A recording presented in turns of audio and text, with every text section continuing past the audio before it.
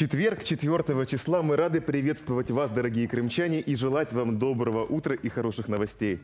Мы сдержали свое слово и снова встретились с вами в эфире «Утро нового дня», чтобы поднимать вам настроение. Для вас в прямом эфире работает Салия Салямова и Александр Ткачев. А работаем мы на двух телеканалах «Первый Крымский» и «Крым-24». И мы рады вам рассказать самые актуальные и самые интересные новости, которые произошли за последние сутки. И в данном случае я передаю слово тебе, Саля. Ну, ты передаешь слово мне, а я передаю слово уже своим коллегам с телеканала «Крым-24», которые в эти дни для вас искали только самые интересные новости. И они готовы о них рассказать, а уже я готова их озвучить. Итак, что же было последние 24 часа? Запрет на строительство, изменение ландшафта и использование химикатов. Теперь эти ограничения действуют в восьми новых охранных зонах памятников природы. Их установил глава республики Сергей Аксенов. Особо ценные леса, гроты и пещеры находятся в разных регионах полуострова. В каком состоянии они сейчас, оценил Дмитрий Попов. Зачистка ствола, загнивание, здесь запущенный вариант. Весна. Время приводить растения в порядок. У садовника Веры Горбатюк в детском парке много хлопот. На очереди дуб Дулицкого. Последний раз его обрабатывали три года назад. Можете обратить внимание, э, синей краской обработаны у нас э, большие ветки. Ну, так по мелочи вот сейчас обрезаем. Дуб попал в список памятников природы республиканского значения. Этот род деревьев растет медленно, годами и даже веками. Поэтому определить его возраст трудно. Этому дубу сто лет. Я думаю, он такой древний. Лет 300 я б дала. На самом деле ему пять веков, и это не предел. Дуб еще в расцвете сил. В природе такое дерево может расти тысячу лет, в высоту достигать 20-этажного здания. Это в два раза меньше, и растет оно сейчас в основном в ширину. Обхват 5 метров. Отныне эта зона охраняемая. Рядом нельзя возводить любые сооружения. Запрещено использовать для обработки химикаты. Сейчас дерево задекорировано. По этому поводу руководство парка ведет переговоры с профильным министерством. проясним для себя ситуацию. Можем ли мы оставить вот эти красивые шары, а, декоративную подсветку, а, русалочку? А, Позволительно ли это в контексте охранного дерева? Список охраняемых зон попал и Волчий грот возле села Донской Симферопольского района. Пещера карстового происхождения. Археологи предполагают, что это место стоянки первобытных людей. Обзор из грота хороший, вход узкий и незаметный. Прятаться здесь было удобно. А вот э, на тесноту наверняка люди, которые проживали в этой древней квартире, не жаловались, ведь ее глубина 15 метров. Долго жить в таких условиях было неудобно, слишком холодно. Во время раскопок здесь обнаружили кострища, останки животных, в том числе мамонтов, древние орудия труда. Специалисты предполагают, в гроте мог быть цех по их изготовлению. Оставляют здесь о себе следы и современники. Например, здесь был Коля. Видимо, он хорошо покушал. А если пройти чуть дальше, можно насладиться современной живописью 2000-х годов. Я бы назвал эту картину «Охота на слонов». Теперь охотиться будут на таких творцов. В охраняемой зоне это наказуемо. Любой ущерб памятнику природы карается штрафом. Для физических лиц э, от 4 тысяч, для юридических лиц э, от э, 300 до полмиллиона рублей. На территориях охраняемых зон разместят предупреждающие знаки. Эту работу проведут в ближайшие месяцы. Дмитрий Попов, Алексей Стороженко. Новости 24. Рекордные 500 гектаров новых виноградников заложат э, севастопольские аграрии. Это почти в два раза больше, чем в 2018 -м. Посетила поля и узнала новый метод высадки наш собственный корреспондент Анастасия Соснина.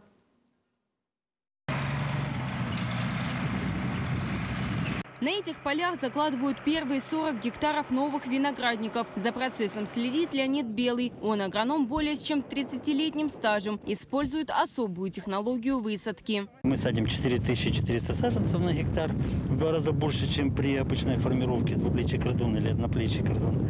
И для чего? Для того, чтобы меньше дать нагрузку на куст, получить более высококачественный виноград. Виноград высаживают через каждые 90 сантиметров, используют технику. Но и без ручной работы не обойтись. Берем отсюда и вот ставим сюда на машинку. Она прижимает зажим, доходит туда и она открывается зажим. И дальше то же самое. Если, допустим, я не успел и пропустил, сзади идет один человек и подсаживает. Сезону подготовились основательно. Предприятие закупило около двух тысяч высококачественных саженцев из Сербии. Саженец состоит из двух частей. Нижняя – это подвой. Она вместе с корнем находится в земле. Верхняя – привой. Ее обрабатывают специальным воском, чтобы саженец не пересох. Почки в них уже созрели, и первые лепесточки появятся через 2-3 недели. Урожай соберут через три года. Все это время за виноградниками будут ухаживать, обламывать и подвязывать лозы, поливать, бороться с вредителями. По такой же технологии будут работать и другие предприятия города. Их поддерживают на государственном уровне. Если говорить о цифрах, это порядка 330 миллионов рублей. Субсидируется закладка новых виноградников, субсидируется приобретение сельхозтехники и субсидируется поддержка а, малых фермерских хозяйств. Для развития сельского хозяйства в Севастополе разработали ряд инвестиционных проектов. В планах строительства объектов винного туризма. Это даст возможность увеличить поток отдыхающих в регионе. Анастасия Соснина, Александр Бухтияров. Новости 24 Севастополь. Такой была информационная картина глазами наших журналистов-корреспондентов. Ну что же, воистину добрые новости прозвучали. Они радостные для каждого крымчанина, ведь и охрана наших достопримечательностей, и прекрасные наши виноградники слагают гордость нашего солнечного полуострова. Но я предлагаю от этой темы перейти к теме наших коллег, которые прямо сейчас с нами на связи. Связываемся с радийной студией, что они нам расскажут. Доброе утро! Прямое включение с нашими коллегами с утра. Доброе, Доброе утро, утро, коллеги. Доброе, Доброе утро. Доброе утро, коллеги. О чем рассуждаем в столь утренний ранний час? Ой, у нас очень много интересных тем, но одна из них это касается театралов. А, несмотря на то, что на прошлой неделе они отметили свой профессиональный праздник, празднуют они до сих пор. И будем говорить о очень почетной премии, которую я называю «Оскар по-крымски. Золотой грифон», которую недавно вручали всем работникам Миля, вот театральных вот Хорошая тема, да? Хорошая тема. А у нас дороги и дураки. У нас всегда, да. Ну, не будем обобщать. Нет, знаешь, это вот у нас тема немножко не дороги и дураки. У нас а, другая есть такая а, всероссийская тема, она называется так «Воруют». Да. В общем, вы понимаете, о ком Ух мы и о чем ты, мы как говорим заинтриговали, сегодня. как закрутили. Ой, ну да ладно, можно подумать непонятно, о чем мы говорим сегодня. Очень понятно. По свежим Хорошая, следам. Да, хорошая ну, мы тема. Тоже мы говорим о детском темы. курорте Евпатория, что с ним сейчас происходит, что и с ним будет, будет происходить. дальше, да. Да. и кто же этим э, городом в ближайшее время будет руководить. Спасибо, коллеги, да. удачного эфира. Удачного Спасибо эфира. вам тоже. Пока. Ну что же, мы двигаемся дальше по волнам эфира. Конечно, мы двигаемся дальше. И дальше мы будем говорить уже о синаптической картине, о том, какая погода ожидается сегодня. И, возможно, кто-то захочет поехать в Евпаторию и там своими глазами увидеть, насколько он готов к курортному сезону. Вот для этого следующая рубрика.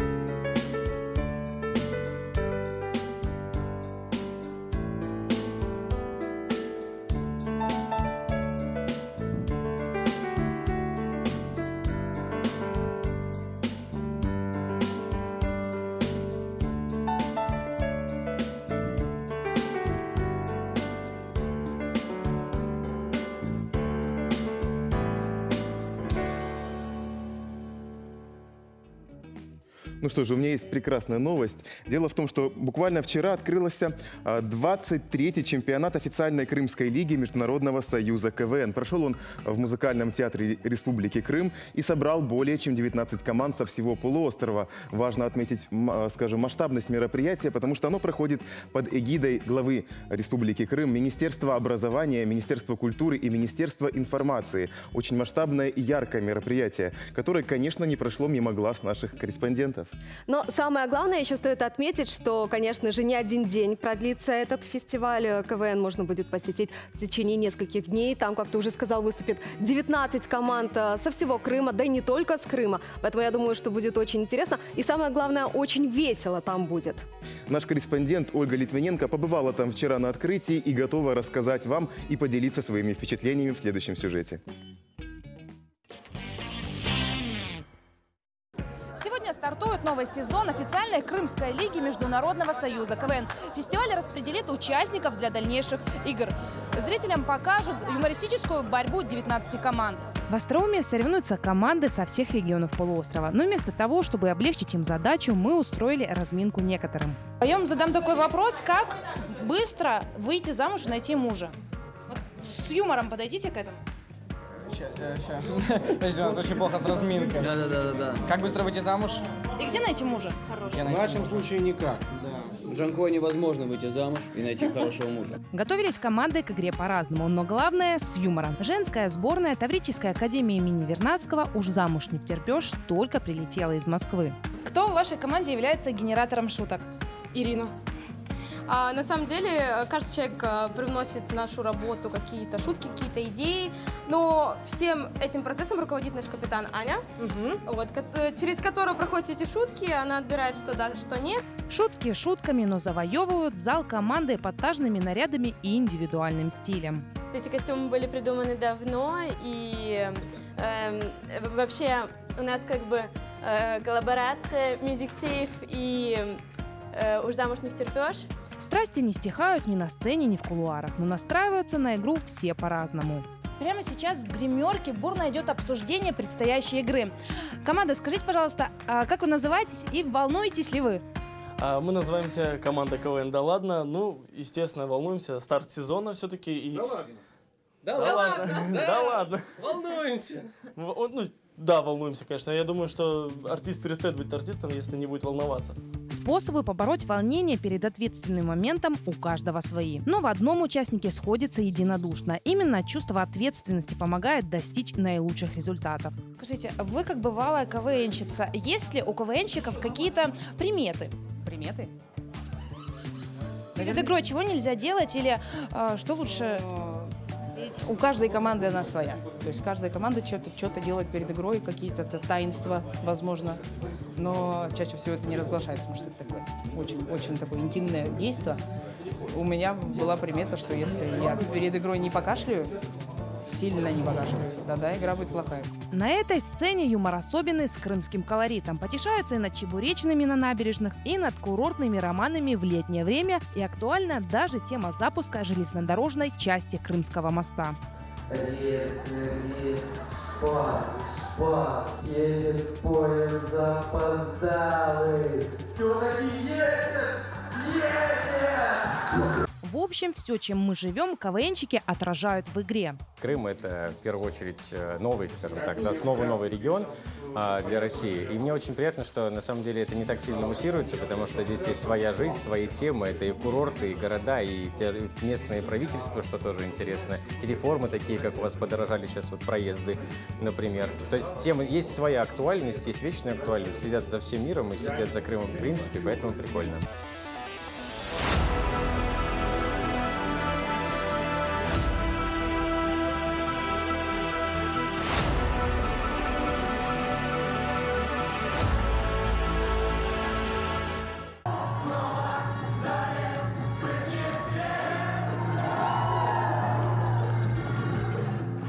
Знаем, что крымский КВН набирает э, большие обороты и стремительно развивается. Чего вы ждете э, от э, сегодняшней игры? В первую очередь я жду позитива. Как говорят, у нас игра удалась, и хочется, чтобы эту фразу в конце сказали все члены жюри.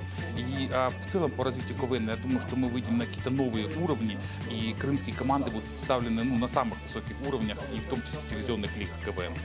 А какой КВН без позитива, тем более, что на кону такие призы. Частота юмора здесь зашкаливает. Индикатор этого – зрительские аплодисменты. Для многих команд главное не победа, а участие и возможность развиваться. А для зрителей главный подарок – искрометный крымский юмор. Ольга Литвиненко, Андрей Псом. Утро нового дня.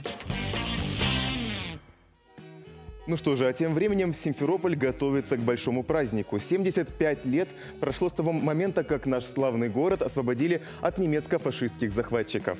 Мероприятие стартует 11 апреля, и в этот день состоится церемония возложения цветов у памятного знака на улице 51-й армии. Также будет проведен митинг, панихида и возложение цветов в честь всех погибших в Великой Отечественной войне. А 12 апреля у памятника партизанам и подпольщикам Крыма состоится митинг и также возложение цветов. В этот же день будет организована работа полевой кухни. Ну и все крымчане могут посетить выставку оружия времен Великой Отечественной войны. 13 апреля в 8 утра на железнодорожном вокзале Симферополя мы готовы будем встретить знаменитый поезд Победы. Также в этот день пройдет возложение цветков, э, цветов и букетов э, к великому нашему прекрасному памятнику в Гагаринском парке. Ну и 17 апреля также состоится торжественное открытие военно-спортивной игры «Победа». Стоит отметить, что эта игра проводится у нас в Крыму впервые. Принять участие в ней может абсолютно каждый. Ну и, конечно же, в рамках э, всех мероприятий также в этот день будет возложение цветов у всех мемориалов. Такими вот масштабными мероприятиями наши городские власти чествуют память героев. Мы тоже любим вспоминать и героев, и события, которые прошли в этот день много лет назад. Хронограф наш следующий сюжет. 4 апреля – Международный день интернета. Дата праздника выбрана не случайно. Если присмотреться, можно заметить, что ее отображение в цифрах очень напоминает ошибку 404. Страница не найдена, имеющая прямое отношение к будням веб-мастеров и пользователей интернета. Международный день настройщика фортепиано – одного из наиболее распространенных музыкальных инструментов в современном мире. Несмотря на это, специалистов, способных обеспечить идеальное звукоизвлечение из фортепиано и рояля, мало. Профессия очень ценится, ведь мастер должен иметь не только навыки ремонта инструмента, но и хороший музыкальный слух. 4 апреля 1147 года в летописях впервые упоминается Москва. Тогда небольшая крепость в лесах северо-восточной Руси. В этот день Ростово-Суздальский князь Юрий Владимирович Долгорукий устроил там великий пир в честь князя Новгород-Северского Святослава Ольговича. В этот день в 1856 году начались приключения самой редкой из когда-либо напечатанных марок. Марки колонии Британская Гвиана, сегодня Кооперативная Республика Гаяна. Этот раритет был кустарно изготовлен в типографии в единственном экземпляре, чему способствовало опоздание корабля из Лондона, который привозил почтовые принадлежности для колоний.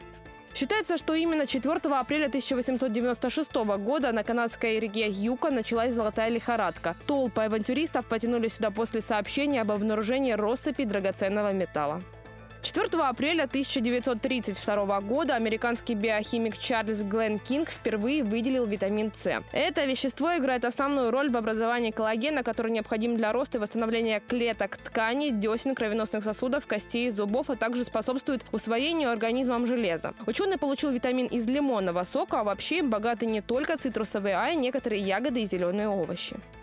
4 апреля 1949 года в Вашингтоне представители 12 европейских североамериканских государств подписали Североатлантический договор, что стало датой создания НАТО. Изначально членами военного альянса стали США, Канада, Великобритания, Франция, Италия, Португалия, Дания, Норвегия, Бельгия, Голландия, Люксембург и Исландия. Международная политическая и военная организация расширялась семь раз. Россия не является членом НАТО, но сотрудничает с организацией по ряду направлений. Ну что же, самая интересная новость, на мой взгляд, была про витамин С. Дело все в том, что, как ни странно, наиболее богаты этим продуктом картофель и капуста. Но мы поговорим от овощей, вернемся к темам углеводородов и говорим о топливе. Цены на топливо сегодня. Итак, газ. Один литр газа сегодня равняется 27 рублям и 96 копейкам. Дизельное топливо 51 рубль и 32 копейки. 92 бензин 47 рублей 21 копейка. 95 50 рублей и 42 копейки и 98 бензин 56 рублей 59 копеек. Ну вот теперь вернемся к теме э, валют, потому что, как мы знаем, цены на топливо всегда очень тесно привязаны к валютам. Итак, доллар на сегодня равняется 65 рублям и 47 копейкам. Евро 30, 73 рублям и 31 копейки. За последние сутки доллар поднялся в цене порядка 30 копеек, а евро, наоборот, сдал в позициях и потерял порядка 10 копеек. Таковы валютные новости на сегодня. Саш, но сейчас я бы хотела тебе задать такой необычный вопрос. Он тоже касается денег, так что мы косвенно продолжим эту тему. Ты слышал что-нибудь о зарплатном рабстве? И знаешь, что мы в нем находимся? Конечно, наслышан. Дело все в том, что э, очень часто работодатели навязывают э, своим подчиненным тот или иной банк. Это, это вот это и называется зарплатное рабство. Абсолютно верно. Но я еще немножко расширю и добавлю, что оно касается также э, того момента, когда, например, мы снимаем деньги с банкомата, и у нас отчисляется небольшая комиссия. Ну, в принципе, мы не обращаем на это внимания, нам кажется, что это небольшой процент, который в итоге накапливается. Вот это и является также зарплатным рабством. И Федеральная антимонопольная служба, она предложила отменить зарплатное рабство, отменить комиссии, чтобы они не снимались. Банкиры, кстати, против. Их можно понять. разумеется, против. Барыши копейка рубль бережет. Там копейка, там копейка. Того и гляди, миллион появится лишний.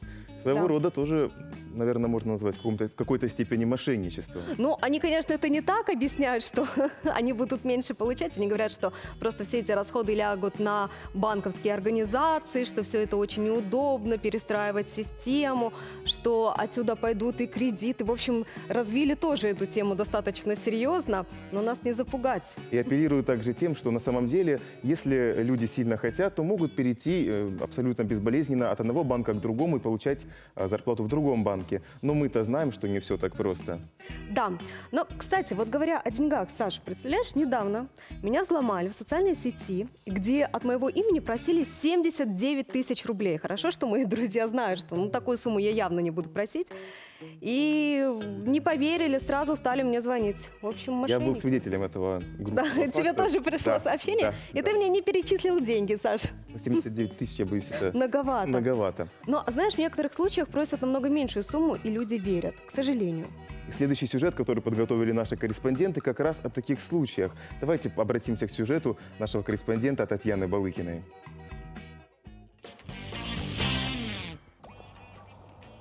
Вау, по-моему, я выиграла миллион. Или нет? Кажется, что в такие сказки давно уже никто не верит. Но не тут-то было. В последнее время участились случаи мошенничества через СМС, звонки и сообщения в социальных сетях. Злоумышленники придумывают хитроумные схемы, а доверчивые граждане верят им. История с выигрышем только один из множества вариантов. Кому-то пишут о приятных денежных бонусах и ценных подарках, другим сообщают неприятные известия, тщательно готовясь заранее. Смс с просьбой о помощи, предупреждение, что с вашей карты списаны средства, уведомление о странных платежах и переводах. На такую уловку попала и Левиза Люманова. Пишут, э, пришло сообщение однажды, что э, добрый день, э, Левиза, ну прям по имени, э, ваша фотография на такой-то ссылочке. Э, один раз нажала, а потом от моего, с моего номера телефона снимали деньги получается, отправляли по всем моим знакомым. Ситуацию исправила только замена сим-карты, но потерянных денег это не вернуло. Пытались обмануть и Варвару Горбачеву, но бдительность не подвела. Обман девушка почувствовала сразу. размещала объявление на Авито. Э, И там мне написали, мне неудобно разговаривать через Авито, давайте вот, вот моя ссылка ВКонтакте на... Давайте там переписываться. Ну, естественно, я не нажала, заблокировала. На следующий день в новостях узнала о том, что это было крупное мошенничество по Краснодарскому краю. Обмануть могут любого. Жертвой подобной аферы стала и дочь Тамары Кнышевской. Она тоже лишилась своих кровно заработанных. Сказали, что э, отправили какой-то э, к- какой-то там запрос и м, неправильно указали свой номер. Ну и сказали, «По- продиктуйте код. Она продиктовала код, а потом, оказывается, денег не стало. Чаще всего цель злоумышленников – деньги. Им не важно, каким способом их получить. Главное – побыстрее, чтобы жертва не успела сообразить, что ее разводят. Взламывают персональные страницы в социальных сетях и делают массовые рассылки по друзьям. Если получают обратную связь, проводят индивидуальную обработку. Защитить себя от обмана можно только проявив бдительность. Написал друг, попросил денег занять, а я ему задал наводящие вопросы, и он э, как бы спалился, что это не мой друг. И я, конечно же, ничего не отправил, денег никаких. В соцсетях просили э, о помощи, скинуть деньги как бы знакомым, вот. Ну, как бы я сразу понимала, что это какой-то развод, и скорее вскоре, то есть уже эти страницы блокировали. знакома с такими вещами и рассказывают, и пишут в газетах, поэтому не, не реагирую на такие предложения. Моя подруга писала мне, мол, э, дай мне свой номер, там, придет смс, скинь мне пароль и все такое. Ну, дальше, чем дать свой номер, я не пошел. С такими махинациями в наше время сталкивался каждый второй. Под прицел мошенников попадают люди разного возраста. Ведь когда приходит просьба о помощи со страницы близких, сомнения возникают редко. Жертвами аферистов становятся либо пожилые люди, либо наоборот достаточно неопытные молодые люди, подростки, которые оказываются мишенью для хороших психологов. В случае, если в отношении вас были совершены мошеннические действия, нужно не откладывая обратиться в ближайший отдел полиции или позвонить на номер 102. И, конечно, перепроверить информацию. Если звонили или писали со страниц знакомых, не паникуйте, свяжитесь с ними лично. То же самое и с банком, пенсионным, налоговым фондом, любым официальным учреждением. Ни в коем случае не переходите по непонятным ссылкам, которые вам присылают. Никому не раскрывайте персональные данные. Будьте бдительны, тогда и аферисты не смогут вас одурачить. Татьяна Балыкина, Руслан Князев. Утро нового дня. Будьте бдительны, дорогие крымчане, ведь мошенники не дремлют.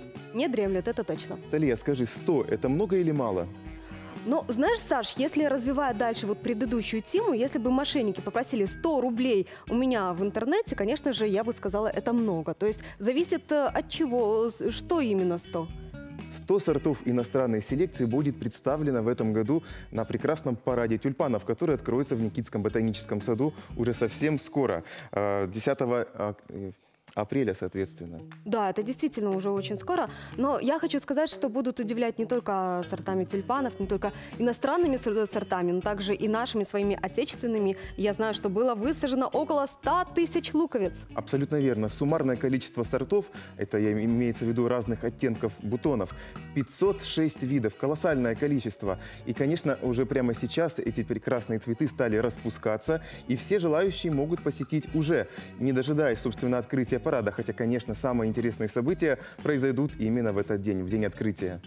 Но, Саш, ты знаешь, вот когда ты начал рассказывать и перечислять, э, озвучивать все эти цифры, рассказывать о том, как это будет выглядеть, сразу себе представила, сразу вспомнила, когда я сама была на параде, какой это ковер из цветов. В общем, там просто утопаешь. Обязательно посетите. Это еще и хорошая цветотерапия. Однако до выставки, до официального ее открытия осталась почти неделя. А, Ну вот что можно сделать прямо сегодня, как развлечь себя и дополнить свой культурный досуг в нашей следующей рубрике.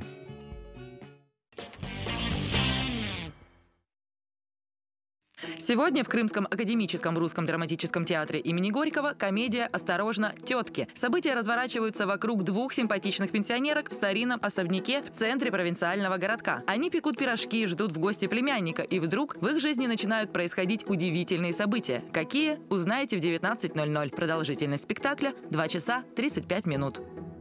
В кинотеатрах премьера – приключенческая комедия «Шазам». 14-летний подросток Билли Бэтсон становится супергероем во взрослом теле. Чтобы перевоплотиться, нужно всего лишь произнести заветное слово «Шазам». В душе он все равно остается ребенком, и чтобы сразиться со смертоносными силами злого доктора, ему придется обрести контроль над своими способностями. Время сеанса вы можете выбрать сами.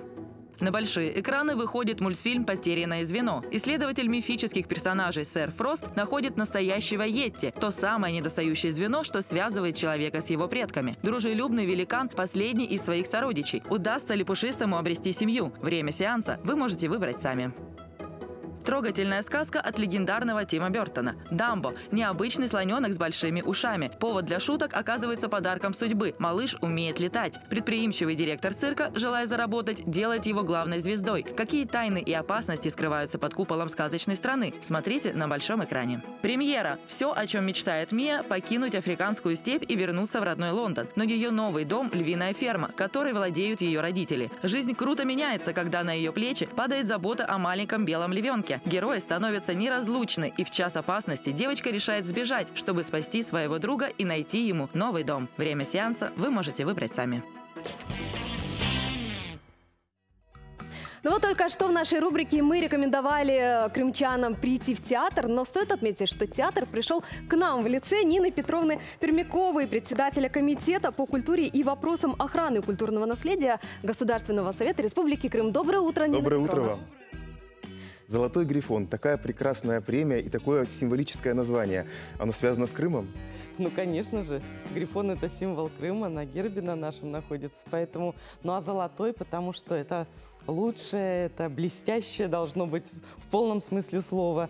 В общем, мы так остановились на этом названии. Нина Петровна, ну вот я сегодня уже сказала, даже сравнила с э, Оскаром. Я сказала, что это Оскар по-крымски. Это действительно так? Это же очень Конечно. престижная премия для театралов. Конечно, конечно, вы абсолютно... Ну, Оскар, это у них там Оскар, а у нас золотой грифон. И для нас это высшая награда. Кто уже крымская. вручали? Скажите, Да. кто может получить такую прекрасную премию? Кто уже получил? Получил, да. Состоялась уже церемония вручения э, в понедельник, 1 апреля. Правда, это был день смеха, но мы работали по-серьезному, потому что э, несколько месяцев э, проходил конкурс. А, Я, наверное, скажу о том, что в, в нем приняли участие 9 театров, 5 театров крымских и- и 4 театра из города Севастополя. Вот. Ну и, конечно же, премию получили самые лучшие. Э, Уже э, премия эта проходит в третий раз. А, И, конечно же, э, мы отсмотрели 16 спектаклей.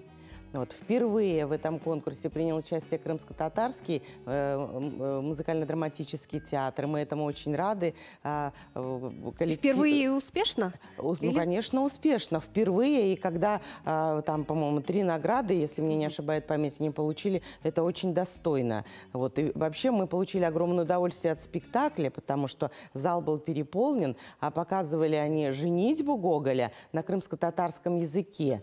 Все было очень легко, понятно. Вот. Но самое главное, что нам понравилось, э, дружелюбие зрителей, которые нам подсказывали, если что-то мы, они видят, что мы что-то немножко не поняли, слово какое-то, они нам переводили. В общем, такое интересное было событие. Мы очень впечатлились. А сколько всего раз- наград было роздано?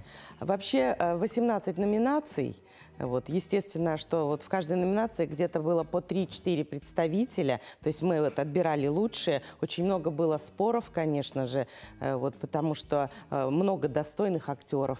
Конечно, это Нина радует. Петровна, Но, конечно же, нас интересует, какой спектакль стал самым-самым лучшим. А, ну, э, у нас два лучших спектакля. Э, Взрослый спектакль вообще лучший и спектакль для детей. И еще Станиславский, э, Константин Сергеевич говорил, что для детей нужно играть так же, как для взрослых, только лучше. Поэтому э, нельзя сказать, что вот я считаю, что достойных было несколько спектаклей, но победил, конечно же, театр Луначарского. Это уже э, ну, не первая их э, победа. Это действительно очень серьезный, хороший, стабильный театр с прекрасным режиссером главным. А, Ну и наверное, нет сомнений, кто среди детей, для детей работает. Это Международный центр театрального искусства «Золотой ключик». Скажу же, сразу же сделаю оговорку, что в обсуждении спектаклей и номинаций именно касательно «Золотого ключика» я участие не принимала. И также поступали мои коллеги, э, члены экспертного совета э, касательно их театров. Да, То есть вот это стоит, принципиальная наверное, позиция. нашим зрителям разъяснить, потому Да. что вы являетесь создателем этого. Конечно, да, да. Да. Скажите, а кто еще входил в жюри? А В жюри у нас входили э, Владимир Косов, э, главный режиссер музыкального театра, Юрий Хаджинов, актер и режиссер театра имени Горького, Людмила Ростенко, главный художник э, театра кукол, Людмила Обуховская, известный наш журналист, которая в области культуры работает, искусства. Вот. Были два представителя из Севастополя, тоже очень известные журналисты, тележурналисты. Мы очень с ними сдружились. Э, э, э, Людмила Маркина и Елена... Ой, фамилию, боже мой, такая интересная фамилия. Вообще человек такой удивительный. Ну, я волнуюсь немножко, да, я не волнуйтесь, все прощения, хорошо, да. ничего страшного. Но а вот что касается актеров, кто стал самым лучшим или лучшей, наверное, тоже было очень много претендентов. Да, претендентов было много. Вообще спектаклей было много, э, таких вот, о которых разворачивался как бы спор у нас. Это не только, естественно, «Золотой ключик» и, и театр имени Луначарского, это и театр флота, это и ТЮЗ Севастопольский, это и наш театр кукол, это и музыкальный театр. То есть вот оно, оно вот так вот мы спорили, у мнения были разные, но всегда побеждает тот, кто больше набирает э, Ну, громче баллов. спорят. Да, но Ильдар, естественно, художественный руководитель Крымско-татарского театра, он стал лучшим актером. А, Дарина Шарпила, которая сыграла роль собаки а, в спектакле «Собака», э, студия 22, Центр «Золотой ключик» театральный. Это главная женская роль. Вообще хочу остановиться на этой актрисе не потому, что она актриса «Золотого ключика», а потому что вот по поводу Дарины спора не было вообще. То есть все единогласно согласились, что она номер один. ну, просто сразу. Во-первых, и спектакль, я видела, как он потряс э, э, членов жюри, э, потому что впервые в Крыму поставлен э, спектакль по произведениям грузинского автора Нуда- Нудара Думбадзе. Э, И это потрясающая такая история, э, очень очень психологическая, очень жизненная. Там хорошо подобрана музыка. Э, Ты сразу, вот ты действительно оказываешься в Грузии. Причем э, там текст э, прописан, грузинский актер из Тбилиси, тот Андрей Пермяков с ним связался, и он начитал текст. То есть вы пр- представляете, это такая вот работа, которая... Там у нас была частичка Грузии. И удачная очень работа. Причем а, Андрей, он художественный руководитель постановки, а Лилия Муслединова режиссер этого спектакля. Вот, такая, вот такой вот симбиоз получился у нас. Нина и, конечно, ну вот Дарина сказали, Шампира играет собаку. Собаку, да. Как, это, вот, так? вот ты веришь, что это собака. Настолько перевоплощение. То есть все главные действия э, вокруг собаки разворачиваются. Конечно, И это не да. комедия. Нет, нет, это психологическая серьезная- драма, да, очень серьезная. Это э, во время войны происходит, э, в общем-то, вот, отношение к животному, э, вот, э, то есть человеческие взаимоотношения, вот все это показано, переплетается в этом спектакле. Я хочу сказать, что вот э, там слезы, там плачут не только дети, не только женщины, но и мужчины. Скажите, а кто То может, глубоко трогает а кто очень. может поучаствовать в этом э, конкурсе? Ну, так как это высшая театральная премия Крыма среди профессиональных театров, то профессиональные театры, Только конечно же, да. И студия 22, э, это, э, ну, мы скоро получим статус профессионального театра юного зрителя, но это коллектив, в котором работают профессионалы, то есть люди с профессиональным образованием. И на основе студии 22 сейчас у нас будет открыт театр юного зрителя профессиональный. Инна Петровна, осталось буквально 30 секунд нашего диалога. Пожалуйста, дайте какое-нибудь напутствие всем молодым актерам, которые в следующем году обязательно поучаствуют в следующем сезоне. Это напутствие будет касаться не только молодых актеров, наверное, всех наших театров. А, Я просто призываю наши театры, очень и актеров молодых, серьезно относиться к своей профессии. Очень много работать нужно над собой, конечно же. Э, И не упиваться своими достижениями, а идти дальше. И обязательно экспериментировать, потому что без эксперимента не может быть живого театра. Это мое э, вот, убеждение. Поэтому работаем, ра- мы знаем, для кого мы это делаем, для нашего Крыма, для наших дорогих зрителей. Поэтому успехов всех творческих и хороших начинаний. Спасибо, очень Большое. хорошее напутствие. Действительно, очень важные слова прозвучали. Ну а я Спасибо. напомню, у нас сегодня в гостях была Нина Петровна Пермякова, председатель Комитета по культуре и вопросам охраны культурного наследия Государственного совета Республики Крым. Большое вам спасибо. Ну а мы двигаемся далее. И далее Крым онлайн. Сюжет, в котором мы рассказываем, о чем же говорит крымский сегмент интернета. Серьезная авария случилась на мосту над Евпаторией. По неизвестной причине легковой автомобиль столкнулся с грузовиком. От удара о фуру передняя часть машины разлетелась на куски. По словам очевидцев, есть пострадавшие. Столкновения не удалось избежать и на Белогорской трассе около поселка Крымская Роза. По всей видимости, на этот раз дорожное полотно не поделили два большегруза. Информации насчет пострадавших пока нет. В сети по этому поводу разгорелся настоящий спор. Одни пишут, что трасса неудобная и аварийная. Другие пеняют на невнимательность и безответственность водителей. Берегите себя и окружающих. Ямы на дорогах – актуальная для полуострова тема. Правда, теперь это касается еще и пешеходных зон. В сеть попали фото разбитого асфальта в Гагаринском парке. Интересно, что послужило причиной такой недолговечности покрытия, пишут пользователи. Куча мусора на полу абонентского отдела. Не такую картину ожидал увидеть пользователь, выложивший видео в сеть. Возмущение автора уместно. Все-таки чистота и порядок – необходимость, тем более в муниципальном учреждении. Особенно возмутили мужчину следы крыс, недавно здесь побывавших. Будьте бдительны, в городе орудуют мошенники. На видео человек, притворившийся дворником, продает пожилой женщине старинную монету, которую якобы только что нашел. Сувенир обошелся бабушке в 600 рублей. Такие дворники в каждом городе есть, пишут в сети. Будьте внимательны. Но действительно, внимательным надо быть всегда. Ты не сталкивалась с такими мошенниками? Э, Нет, не сталкивалась, к счастью, но, конечно, зарекаться не стоит никогда. никогда не стоит. А, Интересная новость есть, у меня коротко ее доложу вам, дорогие друзья. Дело все в том, что президент Российской кино- кинологической ассоциации предложил теперь, прежде чем заводить домашнее животное, сдать экзамены, посвященные знанию психологии животных, знанию элементарных, э, ну, скажем, навыков ухода за ними и психологии животных. Поэтому вот будьте готовы, если вы вдруг хотите завести собаку, сдайте сначала экзамены. Ну а следующий наш сюжет посвящен собаке, которая ищет дом. Об этом прямо сейчас. Чуткая, уникальная Джули ищет дом. Послушная, умная, способная в дрессировке. Возьмите, никогда не пожалеете. С ней приятно общаться. Она любит людей. Звоните плюс 7978 863 1103. Ну, вот такую важную тему я бы хотела отметить, что наш телеканал начинает отмечать важный юбилей 75-летия освобождения Крыма от немецко-фашистских захватчиков. И в связи с этого телерадиокомпания «Крым» совместно с актерами Русского драматического театра имени Горького подготовили, подготовили серию тематических э, роликов, ну, которые мы теперь показываем в эфире. И вот один из них.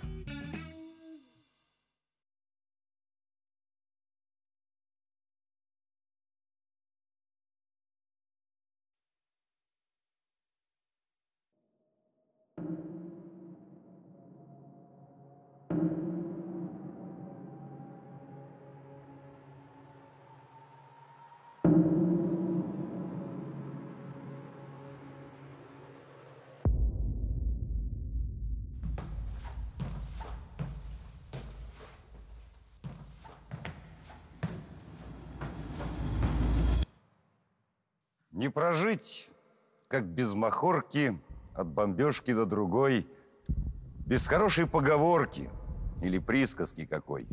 Без тебя, Василий Теркин.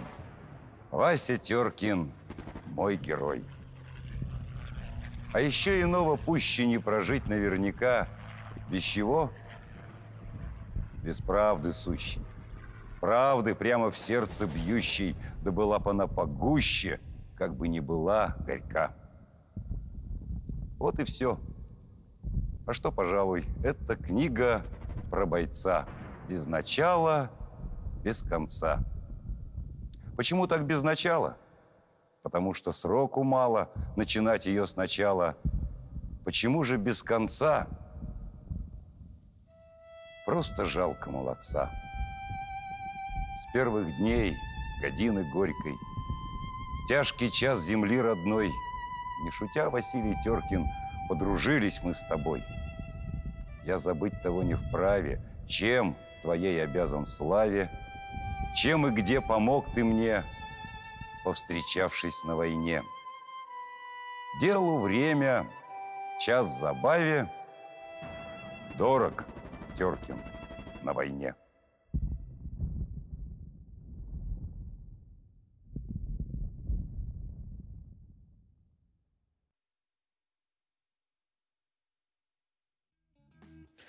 Очень трогательная. Очень проникновенные слова, я бы сказала. Цепляют за Твардовский всегда умел поразить человечество прямо в самое сердце своими словами. И исполнение тоже очень такое, да, скажи, серьезное, глубокое. Всегда удивлялся, как актеры заучивают такие огромные тексты. Ведь это вот отрывок, он еще относительно небольшой, ведь целые спектакли люди учат и наизусть. Это точно. Но сейчас давай перейдем к другой теме, перейдем к теме улиц Симферополя, где сейчас находится наш корреспондент Татьяна Балыкина. И Дело все в том, что, к сожалению, а, сейчас Связи нет. связи нет. Интернет, как всегда, показывает... Подводит нас. подводит. Но э, дело, сами понимаете, житейское. Ну, раз уж затронули тему улиц, давайте о них и поговорим, собственно. Дело все в том, что, видимо, в ознаменовании 75-летия Победы э, власти очень активно, коммунальщики в частности, готовятся, готовят наши улицы, э, приводят их в порядок, приводят их в чистоту. Э, и вот, например, э, вот есть у нас такой регион между э, Московским кольцом, э, площадью Московской и Привозом. Там э, находится рынок, а после этого э, огромный бесхозный участок земли. Э, И вот и власти обещают его привести в чувство в самое ближайшее время и сделать там настоящий парк. Э, розариум даже, насколько я слышала, Абсолютно высадить верно. там розы, высадить цветы. И Ну все вот, это обещает а, быть Мне показывают волшебные приборы, что есть интернет и есть связь с нашим мобильным корреспондентом, который прямо сейчас находится на улицах Симферополя и Интересно наверняка узнать, готов где она рассказать. сейчас. Татьяна, вы с нами? Доброе утро, коллеги. Я нахожусь в сквере возле Салгира. Сейчас уже очень ярко светит солнышко. В принципе, на улице я бы не сказала, что тепло, но достаточно свежо. Температура воздуха по прогнозу синоптикам сейчас примерно плюс 4 градуса. Наверное, так и ощущается. Ветер северо-восточный 7-12 метров в секунду. Днем температура поднимется до плюс 10, плюс 12 градусов. Кстати, вот обратите внимание, на Салгир. И у меня есть еще одна хорошая новость. Кроме того, что, конечно, днем потеплеет.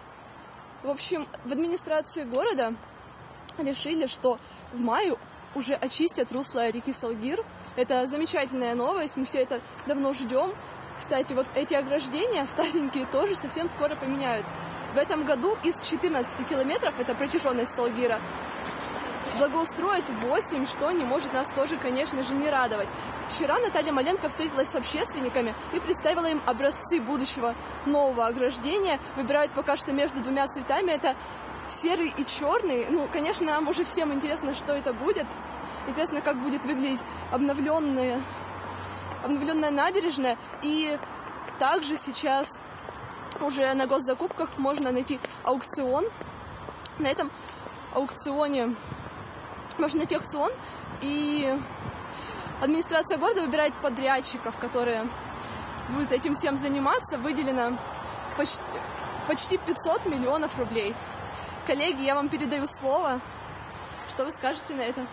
Спасибо. Но я надеюсь, что нас тоже смотрят подрядчики, и они сейчас заинтересуются этой темой, потому что очень многие сравнивают этот забор с беззубой челюстью. Ну просто действительно, как будто бы нет зубов. Такие ряды пустые. Это повод, конечно, создать смешное видео и разместить его в интернет.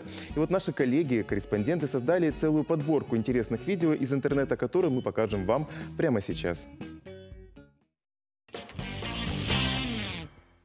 В Краснодарском крае расширили дорогу, видимо, чтобы водителям было удобнее объезжать ямы. Но почему-то разметку нанесли примерно в метре от самой трассы, на обочине. Покрасили землю, грязь и даже лужи. На записи хорошо видно, как краска растеклась в мутной воде. Бег с препятствиями. Пешеходный переход в городе Хасавюрт Республики Дагестан. Местных жителей нисколько не смутили заграждение и красный свет. Молодые люди, будто профессиональные паркурщики, с легкостью перелезли через забор. Интересно, на другой стороне перехода такая же ситуация? Бегать по лужам весело в любом возрасте. На этом видео папа с ребенком в припрыжку несутся по воде. Причем отец точно копирует поведение сына. А почему нет? Стиральная машина сделает свое дело, а вот эмоции бесценны. Просторы интернета охватил массовый флешмоб. Но если раньше шутка была завязана на куске сыра, то теперь в ход пошли огурцы из гамбургеров. Что ж, без влажных салфеток героям роликов не обойтись. Подрезали военные, комментирует автор следующего ролика. В Туле автомобилист попал в колонну военной техники. Пользователи сети шутят, что только у нас можно оказаться в пробке рядом с танком и БТРом. Правда, потом что-то пошло не так. Водитель не пострадал. Чего не скажешь про его телефон. И снова трасса. Автор видео возмущен неадекватным поведением водителя бензовоза. То влево свернет, то вправо, то на обочину. Но такого поворота не ожидал никто. В один момент машину занесло, и она перевернулась. Очевидцы сразу вызвали скорую. Надеемся, никто не пострадал. Вот такое недоброе утро ожидало хозяина этой машины. Уж не знаем, что он сделал этому человеку, но намерения у него серьезные. Первая попытка пробить топором крышу авто оказалась неудачной, орудие просто отскочило от корпуса. Но мужчина был настроен решительно и довел дело до конца. Домашние животные непредсказуемы. Никогда не угадаешь, как поведет себя четвероногий друг в обычной бытовой ситуации. Казалось бы, хозяин просто хотел погладить питомца, чем сильно напугал пушистого. Сиамский кот подпрыгнул на месте и еще какое-то время приходил в себя. Могущество природы завораживает и пугает одновременно. В Дагестане сошла лавина. Снежные глыбы, как струи водопада, несутся по склонам гор. Очевидцами стали несколько человек из разных локаций. Заблокированы дороги к трем населенным пунктам. По предварительным данным, никто не пострадал. Мне аж холодно стало, глядя на это видео, последние кадры, где так много снега, у нас уже солнце, у нас уже тепло. Абсолютно верно. Нас радует теплая весенняя погода. Я предлагаю прямо сейчас обратиться к веб-камерам, которые покажут реальные положения, реальное положение дел на улицах Симферополя и не только Симферополя. Итак, площадь имени Ленина. Как мы видим, она залита солнцем. Пока движения, движения активного на дороге еще нет, люди еще не совсем спешат на работу, но совсем скоро наступит час пик, когда все массово ринутся к своим рабочим местам. Но стоит отметить, что я совершенно не вижу людей на площади. Не знаю, что случилось, может быть, как-то обходят ее. Но машин уже достаточно много, хотя стоит отметить, заторов нет. Это радует. Час еще ранее, и люди не совсем еще проснулись. Некоторые, по крайней мере. В отличие от нас ну? с тобой, некоторые могут себе позволить поспать до 8 часов утра, чтобы к 9 быть. Ну, кстати, вот я думала тоже на эту тему, что все-таки мы работаем для людей, которые обладают типажом жаворонок, да, или совы, которые еще не успели лечь спать к этому времени времени, наверное, все-таки жаворонков больше. А лично наших. ты к какому виду птица-человеков относишься? Ну, сегодня я жаворонок. Э, как только закончится наша смена, я стану совой. Ну, правда, я не знаю, вот люди, которые спят до 9, до 10, это считается сова или кто? Я не, не могу сказать точно, потому что у нас сложный график биоритмов наших, но есть некая промежуточная форма, кажется, голуби называются, да? которые э, могут и так, и сяк. Но я предлагаю вернуться, обернуться к следующим городам, которые тоже нас наверняка порадуют своими прекрасными видами. И сейчас я хотел бы показать нашим э, зрителям город. Интересно, что же ты хочешь нам показать? Э, самый красивый, так. самый большой город. Ой, я сразу отгадала этот город. Вот интересно, наши зрители сразу бы поняли это место, конечно же, если не, не говорить о самих жителях. Конечно, по прекрасной брусчатке, по великолепному памятнику мы узнаем Севастополь. Севастополь. Да, и именно портовые он. краны вдалеке.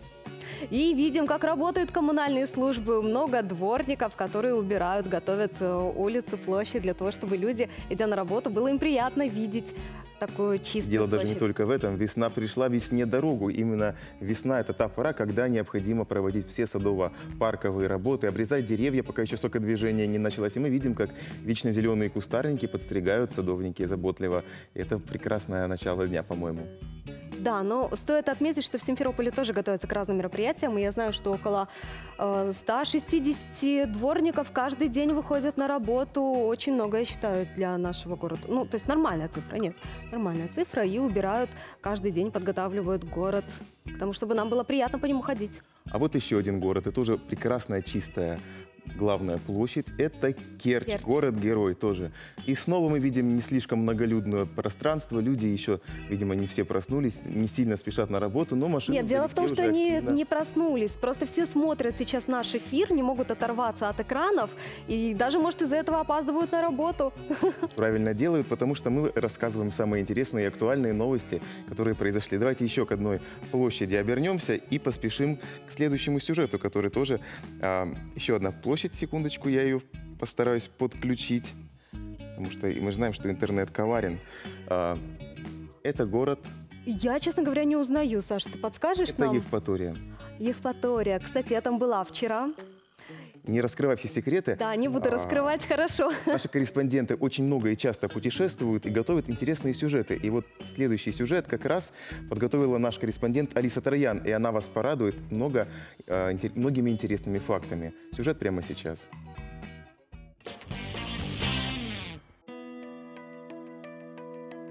Херсонес исследуется более чем 190 лет, но каждый год историки сталкиваются с новыми открытиями. Сейчас здесь работают и местные археологи, и группа ученых от музея «Эрмитаж». Из интересных находок это кресты, анкалпионы, предметы, э, культовые предметы, бронзовые, интереснейшая керамика. Ну, собственно говоря, те предметы, которые составляют э, э, иллюстрацию к теме э, жизни быт Херсонеса в византийскую эпоху.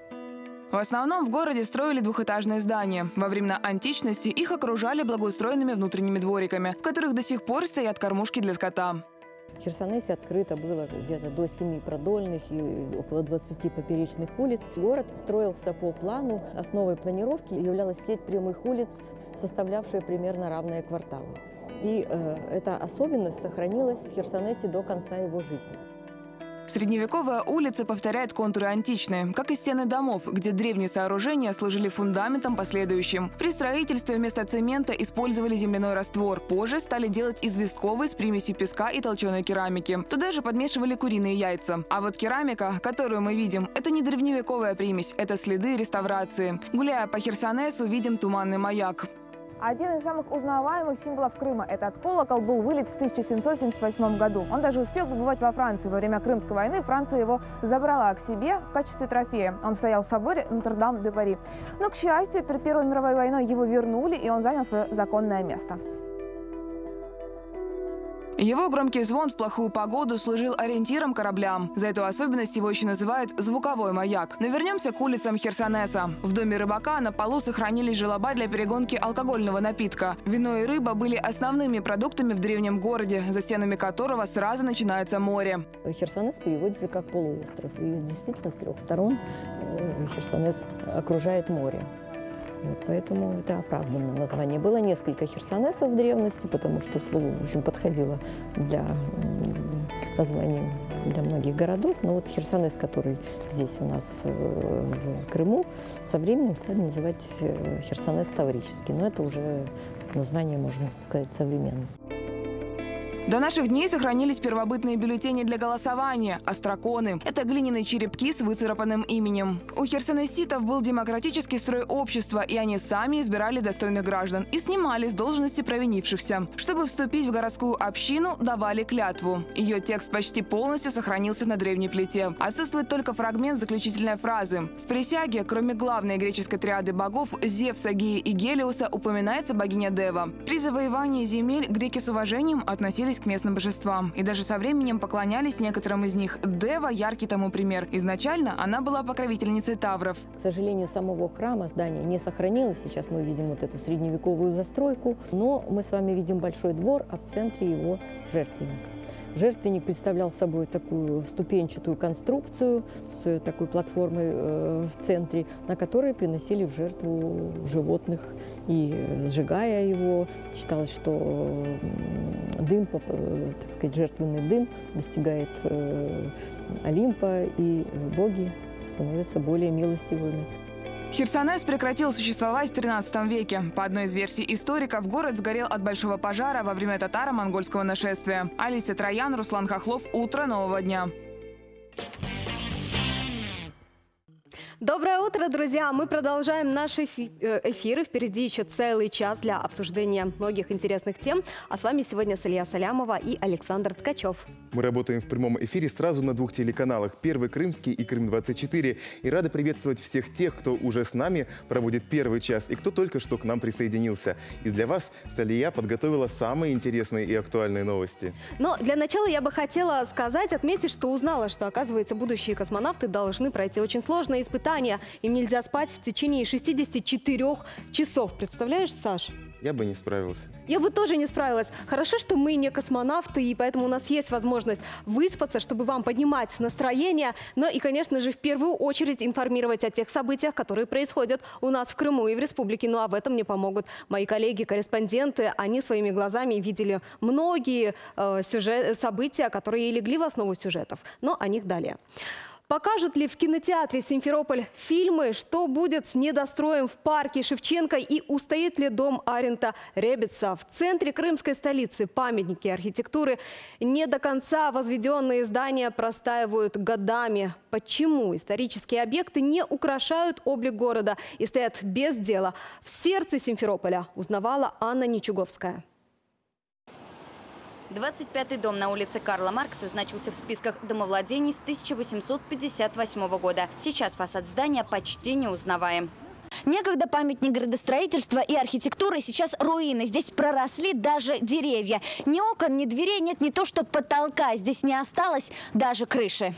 Груды камней и трещины в стенах здания в центре города словно после бомбежки. Но оно до сих пор представляет историческую ценность. Это объект культурного наследия регионального значения. Уже много лет оно стоит, очень много лет. Здесь все-таки гимназия, и вот это вот... Мы думаем, что это будут реставрировать. Относимся хорошо, пускай заменяют его. Конечно, надо реконструировать. Э, Некрасиво, когда в центре такое творится, да и вообще. Находиться здесь небезопасно, но, судя по надписям и мусору, гости приходят часто. За собой не убирают бампер, шины, бутылки. Грязь не только внутри, свалка рядом с забором. Судьба этого дома остается неизвестной. Ответа в администрации города не дают. Зато ясно будущее кинотеатра «Симферополь». В последние годы здесь проводили выставки, ярмарки, но кино показывали все реже. Сейчас о предназначении здания напоминает только вывеска.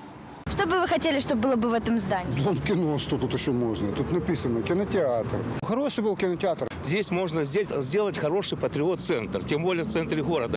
Еще полгода назад сюда пробирались подростки и люди без определенного места жительства. Сейчас здание охраняют и все окна закрыты. В администрации города планируют, как и полвека назад, крутить здесь киноленты. Идут переговоры с потенциальными инвесторами. Наше условие при рассмотрении любого инвестпроекта – это сам кинотеатр, это кинотеатр и досуговый центр для молодежи. Хочется, чтобы инвестор понимал, что мы согласны, чтобы в центр города зашел человек, который, э, ну, в том числе и какие-то э, свои интересы будет преследовать, но основное – это интересы горожан. Сейчас администрация выбирает лучшие предложения. Решается судьба и недостроя в парке Шевченко. Возмущаемся вот этим построенным зданием. Уже много лет стоит этот недострой. Сначала сеткой был загорожен, теперь вот этим загородили. Ну что это за красота в парке? Наталья Маленко рассказала, для этого здания тоже ищут инвесторов. Это место будет для досуга, возможно, детское кафе. Анна Ничуговская, Алексей Романов, Игорь Сюткин. Новости 24. Запрет на строительство, изменение ландшафта и использование химикатов. Теперь эти ограничения действуют в восьми новых охранных зонах памятников природы. Их установил глава республики Сергей Аксенов. Особо ценные леса, гроты и пещеры находятся в разных регионах полуострова. В каком состоянии они сейчас, оценил Дмитрий Попов. Зачистка ствола, загнивание, здесь запущенный вариант. Весна. Время приводить растения в порядок. У садовника Веры Горбатюк в детском парке много хлопот. На очереди дуб Дулицкого. Последний раз его обрабатывали три года назад. Можете обратить внимание, э, синей краской обработана у нас э, большие ветки. Ну, так по мелочи вот сейчас обрезаем. Дуб попал в список памятников природы республиканского значения. Этот род деревьев растет медленно, годами и даже веками, поэтому определить его возраст трудно этому дубу сто лет. Я думаю, он такой древний, лет 300 я бы дала. На самом деле ему пять веков, и это не предел. Дуб еще в расцвете сил. В природе такое дерево может расти тысячу лет, в высоту достигать 20-этажного здания. Это в два раза меньше, и растет оно сейчас в основном в ширину. Обхват 5 метров. Отныне эта зона охраняемая. Рядом нельзя возводить любые сооружения. Запрещено использовать для обработки химикаты. Сейчас дерево задекорировано. По этому поводу руководство парка ведет переговоры с профильным министерством проясним для себя ситуацию. Можем ли мы оставить вот эти красивые шары, а, декоративную подсветку, а, русалочку?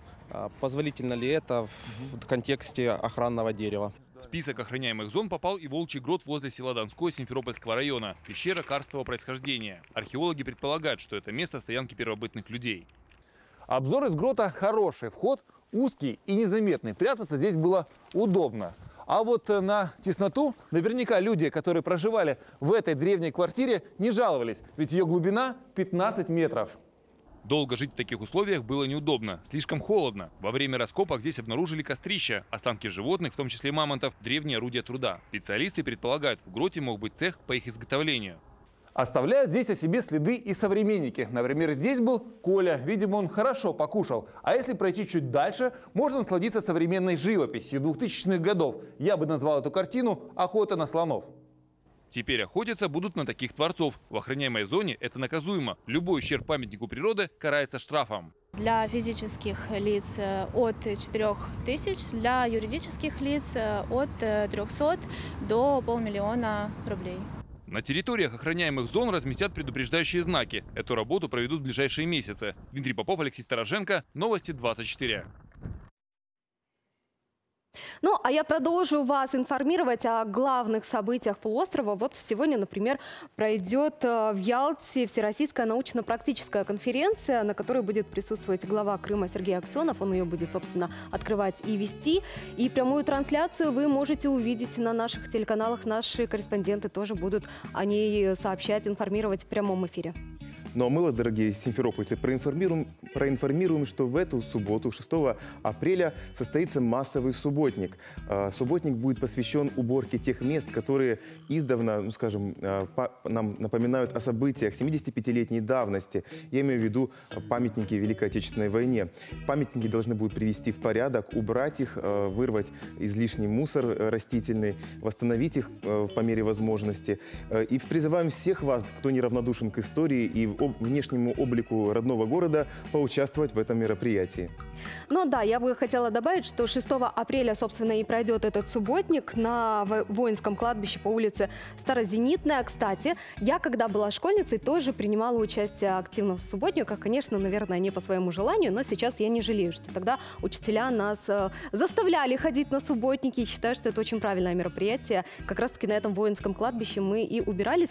Хотя, если честно, в то время оно меня пугало, потому что для ребенка все-таки кладбище – это есть кладбище. Ну что же, такие вот мероприятия пройдут в субботу. Ну а сегодня тоже много чего интересного происходит на подмостках театральных Крыма и в кинотеатрах. И об этом следующий материал.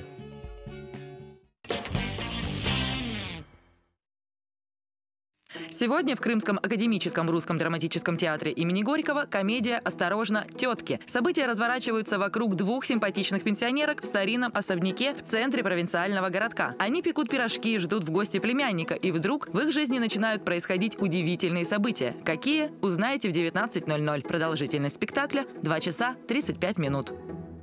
В кинотеатрах премьера – приключенческая комедия «Шазам». 14-летний подросток Билли Бэтсон становится супергероем во взрослом теле. Чтобы перевоплотиться, нужно всего лишь произнести заветное слово «Шазам». В душе он все равно остается ребенком, и чтобы сразиться со смертоносными силами злого доктора, ему придется обрести контроль над своими способностями. Время сеанса вы можете выбрать сами. На большие экраны выходит мультфильм «Потерянное звено». Исследователь мифических персонажей сэр Фрост находит настоящего Йетти, то самое недостающее звено, что связывает человека с его предками. Дружелюбный великан – последний из своих сородичей. Удастся ли Пушистому обрести семью? Время сеанса вы можете выбрать сами.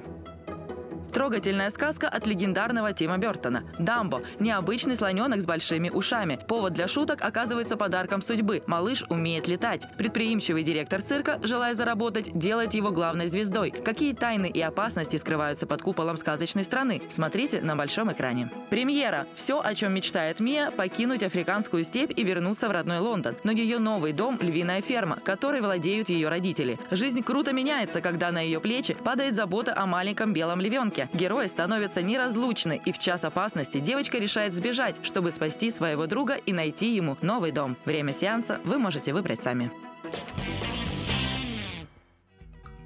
Ну что же, без долгих прелюдий и интродукций предлагаю обратиться к теме цен на топливо. Итак, мы же знаем, что основные виды топлива постоянно меняют свою цену, и это несколько иногда дестабилизирует положение финансовое наших крымчан. Но чтобы вы были уверены в себе, прямо сейчас я сообщу самые актуальные ценники. Итак, газ 27 рублей 96 копеек за 1 литр. Дизельное топливо 51 рубль и 32 копейки. 92 бензин 47 рублей 21 копейка. 95 50 рублей 42 копейки и 98 традиционно самый дорогой 56 рублей 59 копеек. От темы топлива предлагаю переключиться к темам валют, которые тоже нестабильны в своем курсе и постоянно сдвигаются. Итак, э, доллар на сегодня равняется, доллар на сегодня равняется 65 рублям 47 копейкам. И за последние сутки он подрос порядка 30 копеек. А вот евро наоборот сдал позиции порядка 10 копеек. 37, 73 э, рубля и 31 1 копейка за одну единицу евро. Таковы курсы валют на сегодня, которые объявил Центробанк. Ну, а я от курса валют, Саш, предлагаю перейти к новостям интернета. Вернее, что именно там обсуждают сейчас такую тему, что непривитые от кори и не болевшие этим заболеванием учителя, врачи, воспитатели в детских садах должны быть отстранены от своей работы. И, конечно же, сегмент интернета разделился на «за» и «против». Вот ты как считаешь? Я, конечно же, за, потому что я неоднократно об этом говорю а, в своей радиопередаче, которую веду, и которая, кстати, сегодня на радио Крым будет в 19.00, а, что прививки – это одно из величайших достижений современной науки. Наверное, высочайшее достижение медицины в целом. И а, касательно кори, кори – это то заболевание, которое, в общем-то, э, как бы излечимо, но оставляет очень, может оставить очень тяж- тяжелые последствия. То есть а, прививка делается единожды, ее в среднем на 10 лет, поэтому прививаться от кори нужно регулярно, и это мы вам искренне рекомендуем. Но действительно, благодаря прививкам удалось избавиться от очень многих страшных болезней, которые совершенно исчезли с лица земли. Но вот мне интересно, почему все-таки вызывает достаточно много споров сейчас тема прививок. Вот непонятно, хотя действительно случаев кори участились у у нас в Крыму и уже 101 заболевший. Вот. Но дело в том, в том, что для меня, например, загадка, почему э, я не могу э, уяснить в своей голове ни одного довода, почему это может быть плохо. Ну, апеллируют, дескать, это снижает иммунитет, ес- естественный, хотя, в общем-то, это абсолютно не так. Ну, что говорить, э, мнений много разных. Кто-то считает, что Земля плоская, и тут уж осуждать, наверное, Кстати, да, есть даже целая группа людей, которые сейчас доказывают, что Земля якобы плоская. Ну вот нужно сказать, что первые симптомы кори – это появление сыпи.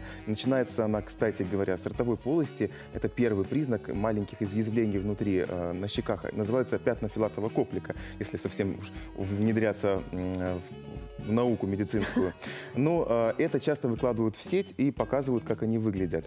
Наши э, корреспонденты, конечно, не вникали в медицинские подробности, но собрали актуальные видео из интернета в рубрике «Крым». Э, Прошу прощения, новости интернета. И сейчас мы вам ее покажем.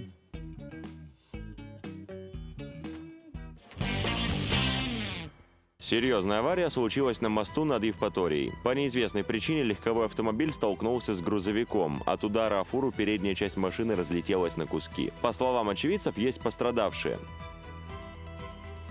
Столкновения не удалось избежать и на Белогорской трассе около поселка Крымская Роза. По всей видимости, на этот раз дорожное полотно не поделили два большегруза. Информации насчет пострадавших пока нет. В сети по этому поводу разгорелся настоящий спор. Одни пишут, что трасса неудобная и аварийная. Другие пеняют на невнимательность и безответственность водителей. Берегите себя и окружающих.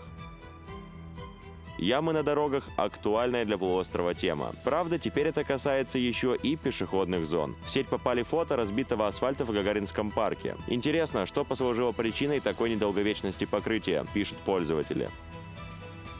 Куча мусора на полу абонентского отдела. Не такую картину ожидал увидеть пользователь, выложивший видео в сеть. Возмущение автора уместно. Все-таки чистота и порядок – необходимость, тем более в муниципальном учреждении. Особенно возмутили мужчину следы крыс, недавно здесь побывавших. Будьте бдительны, в городе орудуют мошенники. На видео человек, притворившийся дворником, продает пожилой женщине старинную монету, которую якобы только что нашел. Сувенир обошелся бабушке в 600 рублей. Такие дворники в каждом городе есть, пишут в сети. Будьте внимательны. Ну, Да таковы, да. были, таковы были новости крымского сегмента интернета. Но я хочу сказать, что с такими вот мошенниками, которые торгуют э, псевдостариной, я сталкивался очень часто в Стамбуле. Они э, очень любят всякие старинные ключи, ручки, фонтаны продавать э, за старинные. Хотя сделано они буквально вчера э, в ближайшей подворотне. Но я хочу сказать, это не только в Стамбуле, это везде в курортных городах, где очень много бывает туристов, конечно же, пытаются им, так сказать, втюхать что-нибудь, ну, якобы выдавая за старинные предметы, за ценные предметы. Это не только в Стамбуле, поэтому будьте внимательны. Но чтобы люди сами подходили и предлагали тебе что-то купить средь бела дня, такое я, конечно, вижу впервые. Называется «Легкий навязчивый сервис». Ну, кстати говоря, прямо сейчас наш корреспондент мобильный Татьяна Балыкина находится в Симферополе и надеемся, что ей никто не пристает с такими предложениями. Коллеги, до следующей локации мы, в принципе, добрались без проблем и уже даже припарковались. Мы находимся на Киевской 114, здесь стихийная парковка, которую, кстати, скоро уберут. Но для начала я вам расскажу о пробках, потому что на площади Куйбышева мы простояли минут 5-7, но самое большое, самое большое скопление машин сейчас именно по направлению к центру города, на въезде в город. Потому что уже от площади Куйбышева до площади Московской мы добрались без особых проблем. Там не так много машин, но большое скопление также сейчас на улицах Ленина, на Русской, на проспекте Победы. все куда-то едут, спешат, скорее всего, на работу, но сегодня, вот за все время, которое я выхожу в эфир, ну, наверное, одна из самых больших пробок, как мне показалось. Вот, смотрите, теперь я вам расскажу о стихийной парковке. Киевская 114. Здесь место, конечно, не очень ухожено, и администрация города решила, что здесь все благоустроит уже до этого июля. Высадят кусты роз, это личное распоряжение главы города, админи... админи... главы города Натальи Маленко. В общем, здесь будут кусты роз, здесь будет, можно сказать, место для отдыха, такая красивая зеленая зона. А так как это будет рядом с дорогой, все-таки приятно, что чуть-чуть больше станет хорошего чистого воздуха. Но посмотрите, я считаю, что это, конечно, безобразие, потому что сейчас здесь просто земля, здесь неудобно ходить. Здесь место для парковки ничем не огорожено, просто, можно сказать, земля и ямы, раскатная территория. И очень хотелось бы, конечно же, чтобы до июля уже здесь все сделали и была красота, чтобы гости, гости и жители столицы смогли приходить, отдыхать, сидеть на лавочках, наслаждаться запахом роз, ну, несмотря даже на то, что будет находиться эта зеленая зона рядом с дорогой, все-таки хотелось бы побольше таких вот зеленых зон в городе, поэтому мы ждем и с нетерпением, конечно же, хотим увидеть, что из этого получится. Коллеги, передаю вам слово, и нам уже пора ехать дальше. Удачи вам большое. в этом, Татьяна. Ну, вот сразу видно, что наша Таня, она все-таки больше пешеход, потому что называет парковку стихийной, и многие водители сказали бы, нет, это парковка, я же вынужден где-то останавливаться, это не стихийно, и начали бы с ней спорить, если бы они там сейчас находились бы. А я хочу повторить э, выражение известного блогера, который занимается урбанистикой, то есть благоустройством городов. Города, они созданы не для машин, а для людей в первую очередь. И э, парковка – это личное дело каждого водителя, где машину оставлять. Это не должно беспокоить горожан. Нет, Саш, я с тобой не соглашусь. А если они оставят где-то посреди дороги машину? Вот, Ну, значит, тогда посреди, там, на площади Советской. штрафплощадку. Города созданы для людей, и это я искренне этому это так считаю и буду на своем настаивать.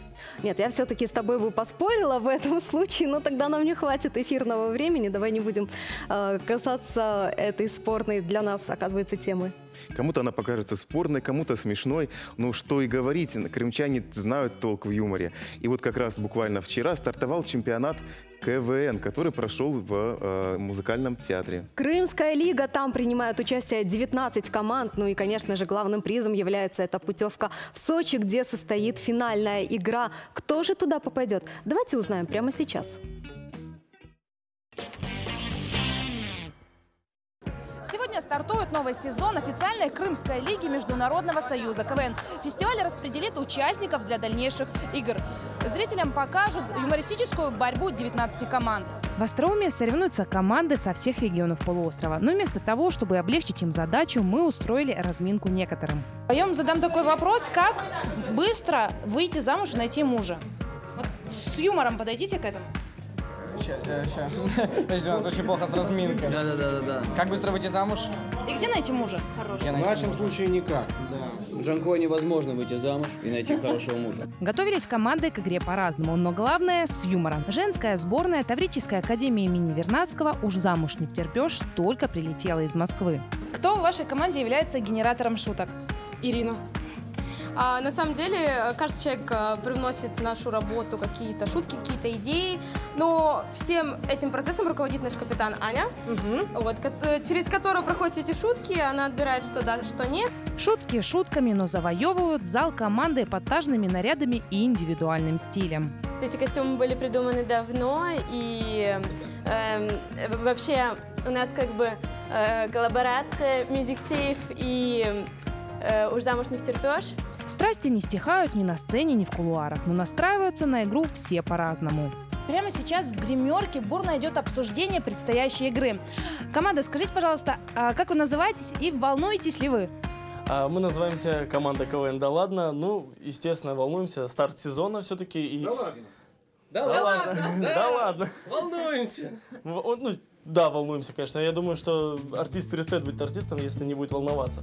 Способы побороть волнение перед ответственным моментом у каждого свои. Но в одном участнике сходится единодушно. Именно чувство ответственности помогает достичь наилучших результатов. Скажите, вы как бывалая КВНщица, есть ли у КВНщиков какие-то приметы?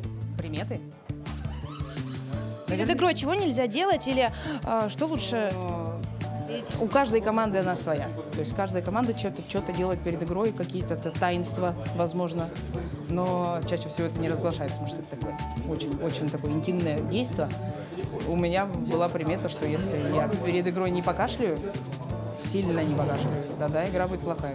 На этой сцене юмор особенный с крымским колоритом. Потешаются и над чебуречными на набережных, и над курортными романами в летнее время. И актуальна даже тема запуска железнодорожной части Крымского моста.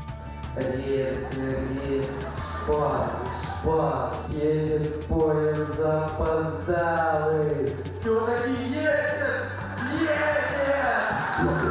В общем, все, чем мы живем, КВНщики отражают в игре. Крым — это, в первую очередь, э, новый, скажем так, да, снова новый регион а, для России. И мне очень приятно, что на самом деле это не так сильно муссируется, потому что здесь есть своя жизнь, свои темы. Это и курорты, и города, и те, местные правительства, что тоже интересно, и реформы такие, как у вас подорожали сейчас вот проезды, например. То есть темы, есть своя актуальность, есть вечная актуальность, следят за всем миром и следят за Крымом в принципе, поэтому прикольно.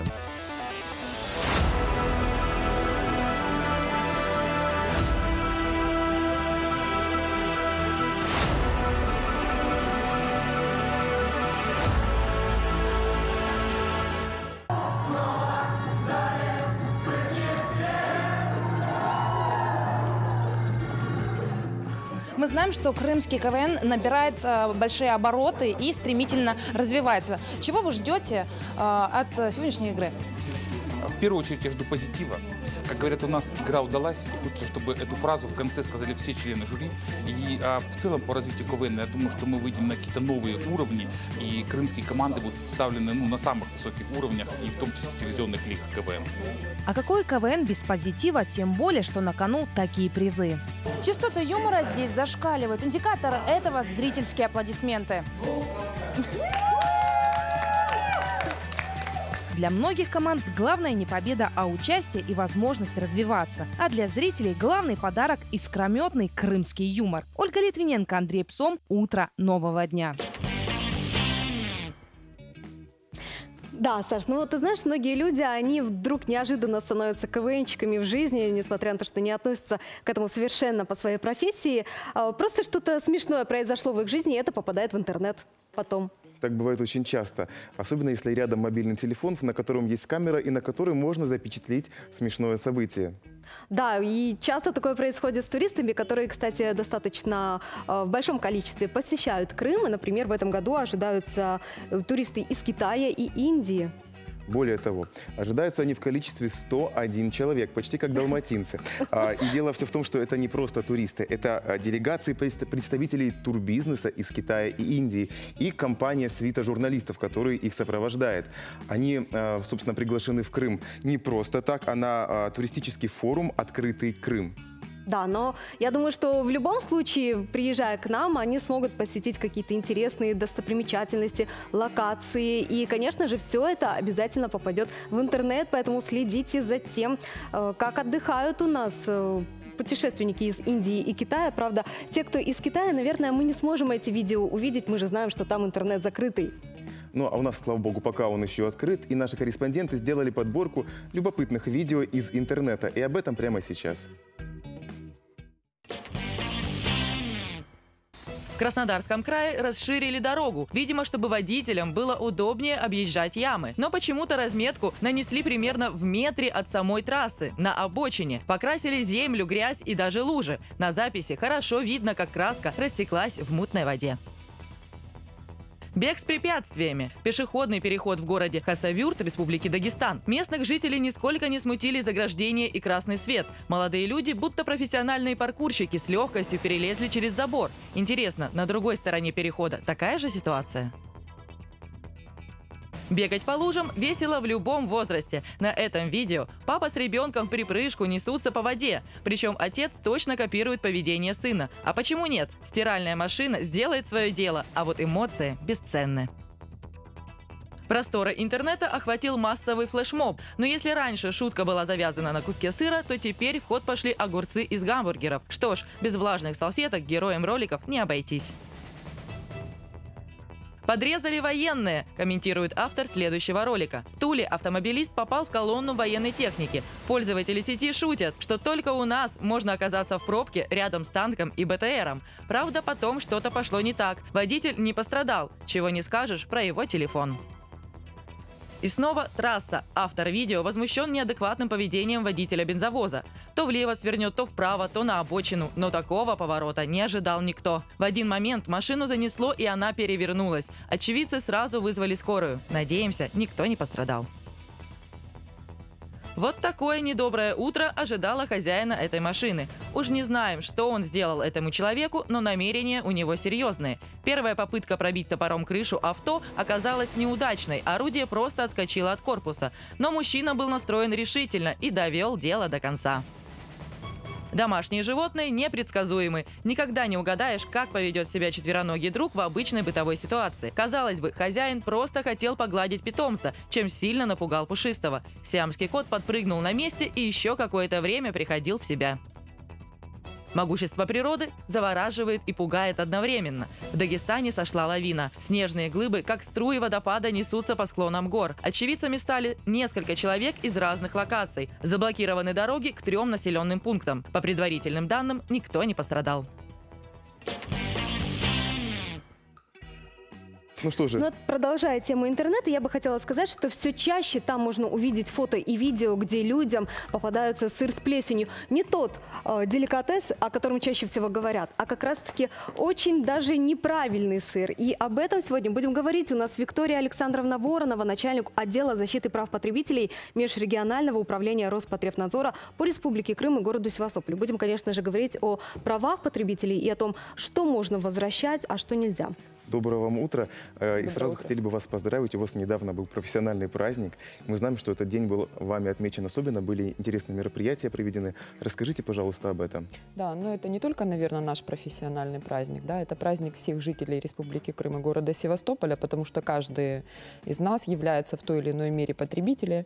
Все мы что-то приобретаем, какие-то товары, заказываем какие-то услуги, выполнение каких-то работ. И, конечно, хотелось бы э, быть уверенным в том, что нас не обманут, да, в том, что мы грамотно юридически подкованы, в том, что мы знаем свои права потребителя и можем э, ими в полной мере воспользоваться. Да, действительно, 15 марта э, прошел Всемирный день прав потребителей.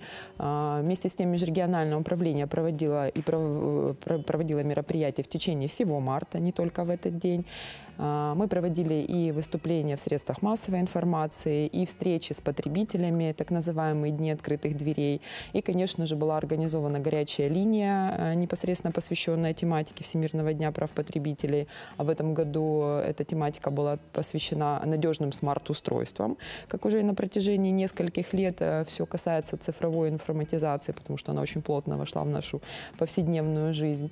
А, конечно же, мы проводили встречи с общественностью, в том числе числе и э, проводили семинары, лекции, круглые столы а, в среднеобразовательных учебных учреждениях. Но я знаю, что вы это не один день проводите. Да, это конечно, это постоянно. проходят да. эти мероприятия. Да, совершенно вот вы сказали о том, что в этом году темой стало это э, смартфоны, вообще да, все эти гаджеты, да. которыми мы пользуемся. А что именно вас вдруг в них обеспокоило? Ну, скорее всего, не нас обеспокоило, а вообще общественность всемирную, да, потому что все-таки тематику выбирает Всемирная организация э, обще, общественных, Всемирная организация общественных организаций по защите прав потребителей.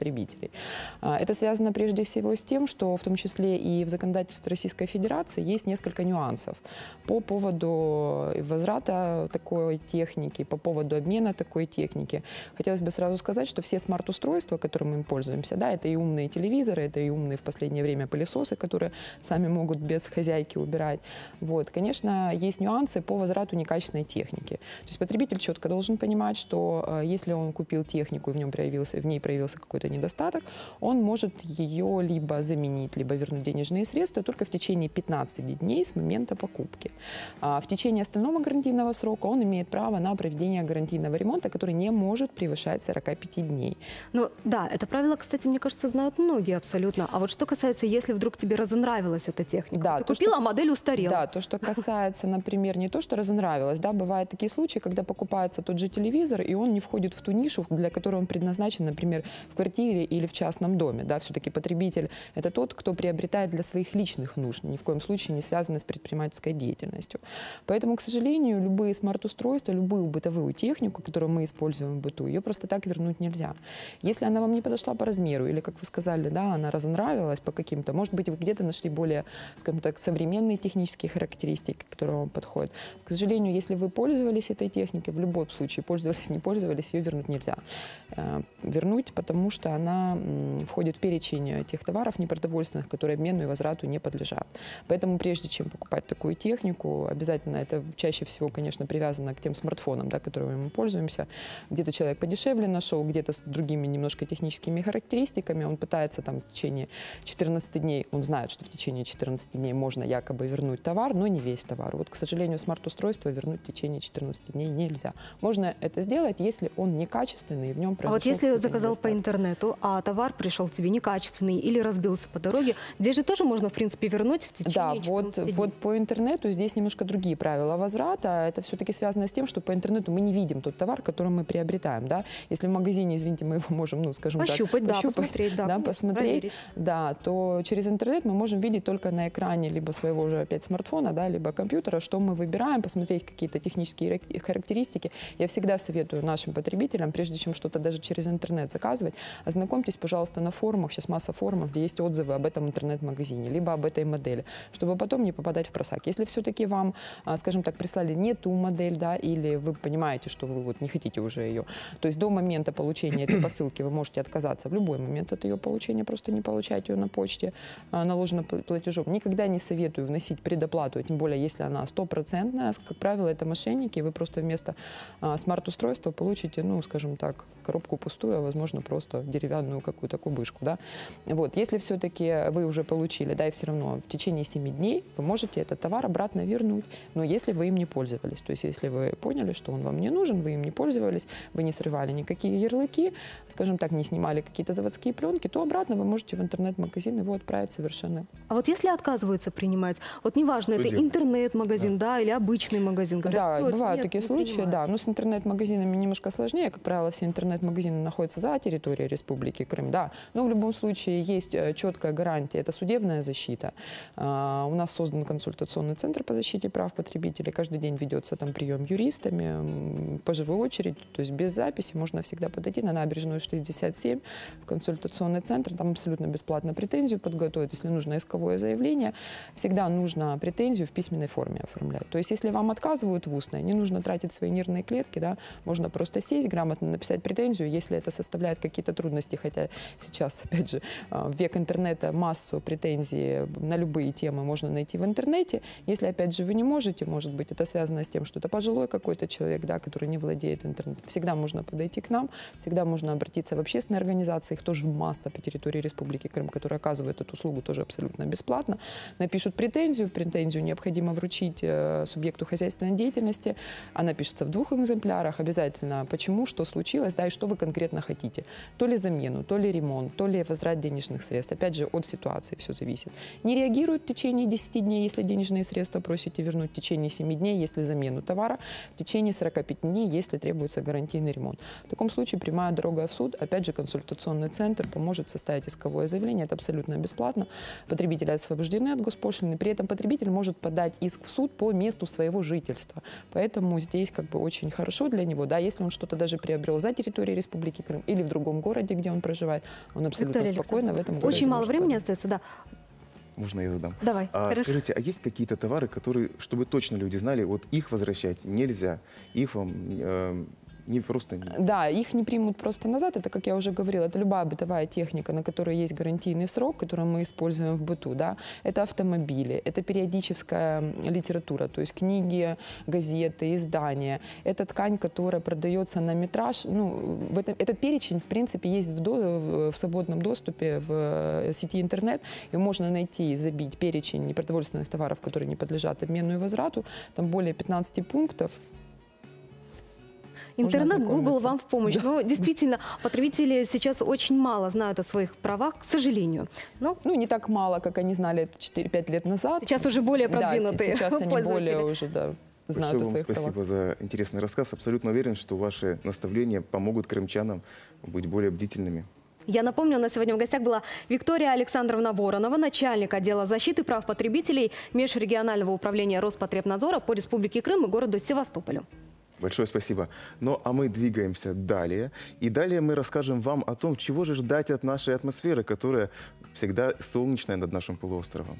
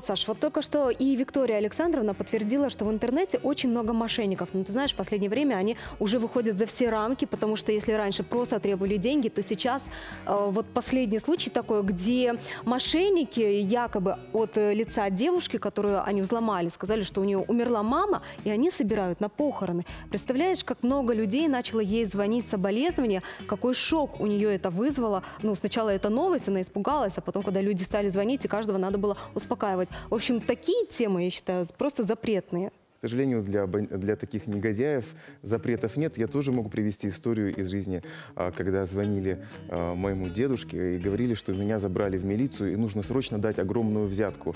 20 тысяч рублей, чтобы меня выпустили. Но дедушка у меня не такой простой, как может показаться. И он просто взял, позвонил мне. Я сказал, дедушка, я на работе, все в порядке. И на этом э, история закончилась. Хотя, конечно, по-хорошему нужно было написать в милицию, потому что таких негодяев нужно изыскивать и а, наказывать по всей строгости закона. Саш, ну ты знаешь, мне кажется, тоже существует какая-то градация или мода на мошенничество. В каждом году там они изощряются, придумывают какие-то новые ходы. И многие россияне уже прошли через эти виды мошенничества, когда и машины якобы разыгрывали, и тоже предлагали э, помочь ну, родственнику, и он попал в тюрьму и так далее. В общем, не ведитесь на это, будьте очень бдительными. Но об этом, кстати, наш следующий сюжет о том, какие виды мошенничества существуют, как не попасться на крючок этих злоумышленников.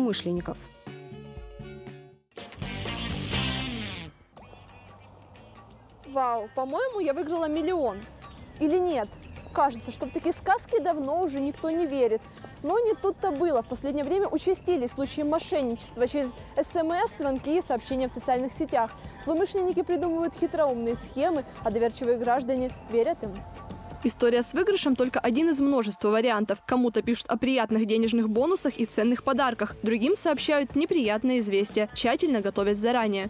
Смс с просьбой о помощи, предупреждение, что с вашей карты списаны средства, уведомление о странных платежах и переводах. На такую уловку попала и Левиза Люманова. Пишут, э, пришло сообщение однажды, что э, добрый день, э, Левиза, ну прям по имени, э, ваша фотография на такой-то ссылочке. Э, один раз нажала, а потом от моего, с моего номера телефона снимали деньги получается, отправляли по всем моим знакомым. Ситуацию исправила только замена сим-карты, но потерянных денег это не вернуло. Пытались обмануть и Варвару Горбачеву, но бдительность не подвела. Обман девушка почувствовала сразу. Размещала объявление на Авито. Э, И там мне написали, мне неудобно разговаривать через Авито, давайте вот, вот моя ссылка ВКонтакте на... Давайте там переписываться. Ну, естественно, я не нажала, заблокировала. На следующий день в новостях узнала о том, что это было крупное мошенничество по Краснодарскому краю. Обмануть могут любого. Жертвой подобной аферы стала и дочь Тамары Кнышевской. Она тоже лишилась своих кровно заработанных. Сказали, что э, отправили какой-то э, к- какой-то там запрос и м, неправильно указали свой номер. Ну и сказали, «По- продиктуйте код. Она продиктовала код, а потом, оказывается, денег не стало. Чаще всего цель злоумышленников – деньги. Им не важно, каким способом их получить. Главное – побыстрее, чтобы жертва не успела сообразить, что ее разводят. Взламывают персональные страницы в социальных сетях и делают массовые рассылки по друзьям. Если получают обратную связь, проводят индивидуальную обработку. Защитить себя от обмана можно только проявив бдительность. Написал друг, попросил денег занять, а я ему задал наводящие вопросы, и он э, как бы спалился, что это не мой друг. И я, конечно же, ничего не отправил, денег никаких. В соцсетях просили э, о помощи, скинуть деньги как бы знакомым, вот. Ну, как бы я сразу понимала, что это какой-то развод, и скорее вскоре, то есть уже эти страницы блокировали. знакома с такими вещами и рассказывают, и пишут в газетах, поэтому не, не реагирую на такие предложения. Моя подруга писала мне, мол, э, дай мне свой номер, там, придет смс, скинь мне пароль и все такое. Ну, дальше, чем дать свой номер, я не пошел. С такими махинациями в наше время сталкивался каждый второй. Под прицел мошенников попадают люди разного возраста. Ведь когда приходит просьба о помощи со страницы близких, сомнения возникают редко. Жертвами аферистов становятся либо пожилые люди, либо наоборот достаточно неопытные молодые люди, подростки, которые оказываются мишенью для хороших психологов. В случае, если в отношении вас были совершены мошеннические действия, нужно, не откладывая, обратиться в ближайший отдел полиции или позвонить на номер 102. И, конечно, перепроверить информацию. Если звонили или писали со страниц знакомых, не паникуйте. Свяжитесь с ними лично. То же самое и с банком, пенсионным, налоговым фондом, любым официальным учреждением. Ни в коем случае не переходите по непонятным ссылкам, которые вам присылают. Никому не раскрывайте персональные данные. Будьте бдительны, тогда и аферисты не смогут вас одурачить. Татьяна Балыкина, Руслан Князев. Утро нового дня. На часах 8.43 это час пик, когда все собираются на работу. И самое время поговорить о пробках на дорогах Симферополя. Для этого у нас есть, благо, спутниковые системы, которые показывают реальное положение дел на, собственно, центральных улицах Симферополя, в частности. Итак, давайте обратимся к центральной части города, к центральной части столицы. И мы с вами увидим, э, увидим что... э, секундочку, маленькая техническая неполадка. Проверяем а, вот и вновь появились все наши условные координаты. Итак, центральные улицы города традиционно в это время переполнены машинами, потому что, разумеется, люди спешат на работу. Итак, улица Шмидта стоит в обе стороны. А, Улица Ленина до перекрестка с а, Караимской тоже полностью стоит, причем в обе стороны. А, Центральные кольца города, улица Киевская стоит по направлению к площади Куйбышева во всех направлениях, и все улицы, которые стекаются в это кольцо, они все, э, как видим, красного цвета, э, заполнены машинами, которые стоят в пробке. Давайте двинемся дальше. Площадь Советская. Как я говорил, от площади Советскую в сторону вверх по Ленина машины стоят очень плотно, и движение фактически остановлено. А по направлению к кольцу все п- приводящие пути тоже затруднено движение. Давайте посмотрим улицу Севастопольскую, которая тоже является важной ц- транспортной артерией нашей столицы. Итак, движение несколько замкнуто, мы видим желтый цвет, и вот до парка а, Шевченко э, во- и вовсе стоит пробка на- по направлению к центру города. Поэтому, дорогие друзья, если вы спешите а, попасть в центр на работу, то у вас есть только обходные пути. Кстати говоря, улица Толстого, которая тоже часто автомобилисты используют для того, чтобы обойти центральные улицы, которые обычно всегда забиты пробками. А, Она тоже стоит, она, к сожалению, перегружена до перекрестка с улицей Киевской. Ситуация э, на площади Московской. Мы видим, что Гагарина по направлению к площади Московской, к кольцевой развязке, тоже плотно э, окружена машинами, и там движение фактически остановилось. Но, к сожалению, такова данность наших дорог, и час пик – это то время, когда все люди спешат на работу. И те, кто спешат или опаздывают, вам надо либо заранее выходить на работу, либо все-таки дожидаться, пока час пик будет пройден. Такова э, ситуация на дорогах Симферополя. Саш, ну ты знаешь, наверное, в 50-х годах мы будем говорить, да разве то были пробки, да это же были свободные дороги. Дело в том, что именно к этому сроку, к 50-м годам, численность э, жителей Земли увеличится до 9,5 миллиарда человек. Сейчас 7,7 миллиардов. Вот представляете, на 2 миллиарда возрастет количество жителей Земли, вот тогда и будут пробки. Но я думаю, что к 50 году технологии позволят уже создать летающие аппараты, которые будут доставлять людей по воздуху. Там места, как известно, больше, чем на наших э, узких дорогах старого города. Ведь Симферополь все-таки город довольно старый, с историей. Поэтому небо над нами свободно, и э, будем летать на работу. Что же нам остается делать? Ну, а я думаю, что сейчас уже самое время совершить тоже небольшое путешествие в Херсонес. Нет, Но- еще, боюсь, не время, потому что прямо сейчас наш мобильный корреспондент Татьяна Балыкина готова поделиться своими переживаниями от увиденного в центре города. Татьяна, здравствуйте. Да, коллеги, вот мы добрались до следующей локации. Я нахожусь на площади Советской. Вы сами можете видеть, какая пробка на кольце образовалась. По Кирова машины очень двигаются медленно. Я бы даже сказала, что тянутся. Но приехала я сюда совсем по другому делу.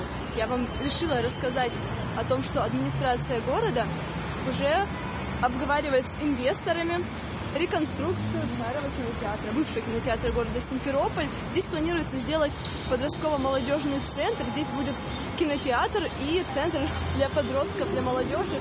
Развлекательный такой центр. Сейчас проходят уже переговоры с инвесторами, но также можно, если у кого-то есть, у наших зрителей, может быть, кто-то среди вас тоже инвестор и готов вложить деньги в кинотеатр, если есть желание, можно, в принципе, присоединиться еще и выберут, конечно же, тех, у кого будет наиболее интересное предложение.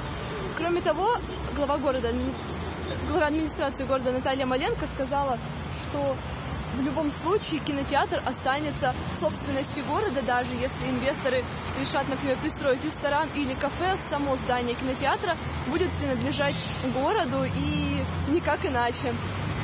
Вот. Я не знаю, помнит ли кто-то из вас, может быть, зрители дорогие, был ли кто-то внутри кинотеатра еще, когда он работал. Я, потому что в городе живу не так давно, и, естественно, сколько лет он уже закрыт. Интересно, что там будет.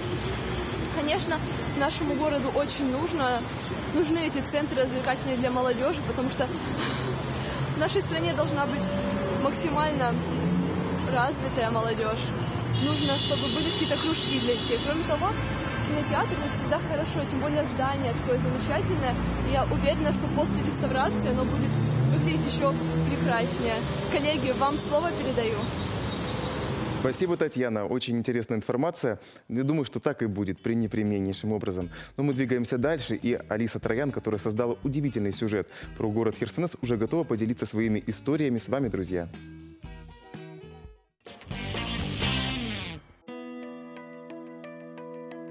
Херсонес исследуется более чем 190 лет, но каждый год историки сталкиваются с новыми открытиями. Сейчас здесь работают и местные археологи, и группа ученых от музея «Эрмитаж». Из интересных находок это кресты, анкалпионы, предметы, э, культовые предметы, бронзовые, интереснейшая керамика. Ну, собственно говоря, те предметы, которые составляют э, э, иллюстрацию к теме э, жизни, быт Херсонеса в византийскую эпоху. В основном в городе строили двухэтажные здания. Во времена античности их окружали благоустроенными внутренними двориками, в которых до сих пор стоят кормушки для скота. В Херсонесе открыто было где-то до 7 продольных и около 20 поперечных улиц. Город строился по плану. Основой планировки являлась сеть прямых улиц, составлявшая примерно равные кварталы. И э, эта особенность сохранилась в Херсонесе до конца его жизни. Средневековая улица повторяет контуры античные, как и стены домов, где древние сооружения служили фундаментом последующим. При строительстве вместо цемента использовали земляной раствор. Позже стали делать известковый с примесью песка и толченой керамики. Туда же подмешивали куриные яйца. А вот керамика, которую мы видим, это не древневековая примесь, это следы реставрации. Гуляя по Херсонесу, видим туманный маяк. Один из самых узнаваемых символов Крыма – этот колокол был вылет в 1778 году. Он даже успел побывать во Франции. Во время Крымской войны Франция его забрала к себе в качестве трофея. Он стоял в соборе Нотр-Дам-де-Пари. Но, к счастью, перед Первой мировой войной его вернули, и он занял свое законное место. Его громкий звон в плохую погоду служил ориентиром кораблям. За эту особенность его еще называют «звуковой маяк». Но вернемся к улицам Херсонеса. В доме рыбака на полу сохранились желоба для перегонки алкогольного напитка. Вино и рыба были основными продуктами в древнем городе, за стенами которого сразу начинается море. Херсонес переводится как полуостров. И действительно с трех сторон э, Херсонес окружает море. Вот, поэтому это оправданное название. Было несколько херсонесов в древности, потому что слово, в общем, подходило для названия для многих городов. Но вот Херсонес, который здесь у нас э, в Крыму, со временем стали называть э, Херсонес Таврический. Но это уже название, можно сказать, современное. До наших дней сохранились первобытные бюллетени для голосования – остроконы. Это глиняные черепки с выцарапанным именем. У херсонеситов был демократический строй общества, и они сами избирали достойных граждан и снимали с должности провинившихся. Чтобы вступить в городскую общину, давали клятву. Ее текст почти полностью сохранился на древней плите. Отсутствует только фрагмент заключительной фразы. В присяге, кроме главной греческой триады богов Зевса, Геи и Гелиуса, упоминается богиня Дева. При завоевании земель греки с уважением относились относились к местным божествам. И даже со временем поклонялись некоторым из них. Дева – яркий тому пример. Изначально она была покровительницей тавров. К сожалению, самого храма здания не сохранилось. Сейчас мы видим вот эту средневековую застройку. Но мы с вами видим большой двор, а в центре его жертвенник. Жертвенник представлял собой такую ступенчатую конструкцию с такой платформой э, в центре, на которой приносили в жертву животных. И сжигая его, считалось, что дым, э, так сказать, жертвенный дым достигает э, Олимпа, и боги становятся более милостивыми. Херсонес прекратил существовать в 13 веке. По одной из версий историков, город сгорел от большого пожара во время татаро-монгольского нашествия. Алиса Троян, Руслан Хохлов. Утро нового дня. Ну что же, самое время присоединиться к нашей новостной редакции, которая примет эстафету за нами. Здравствуйте, Сергей. Саля, Саша, доброе утро. Что у вас сегодня на повестке дня? В ближайших выпусках новостей мы расскажем о задержании главы администрации Евпатории Андрея Филонова. И стоит ли пугаться воя сирен? Очередная проверка системы оповещения населения в Крыму. В течение дня наши журналисты раскроют проблему феодосийской канализации и покажут зоопарк из трех десятков собак в обычной керченской квартире. Все это и многое другое смотрите в выпусках новостей и не переключайтесь.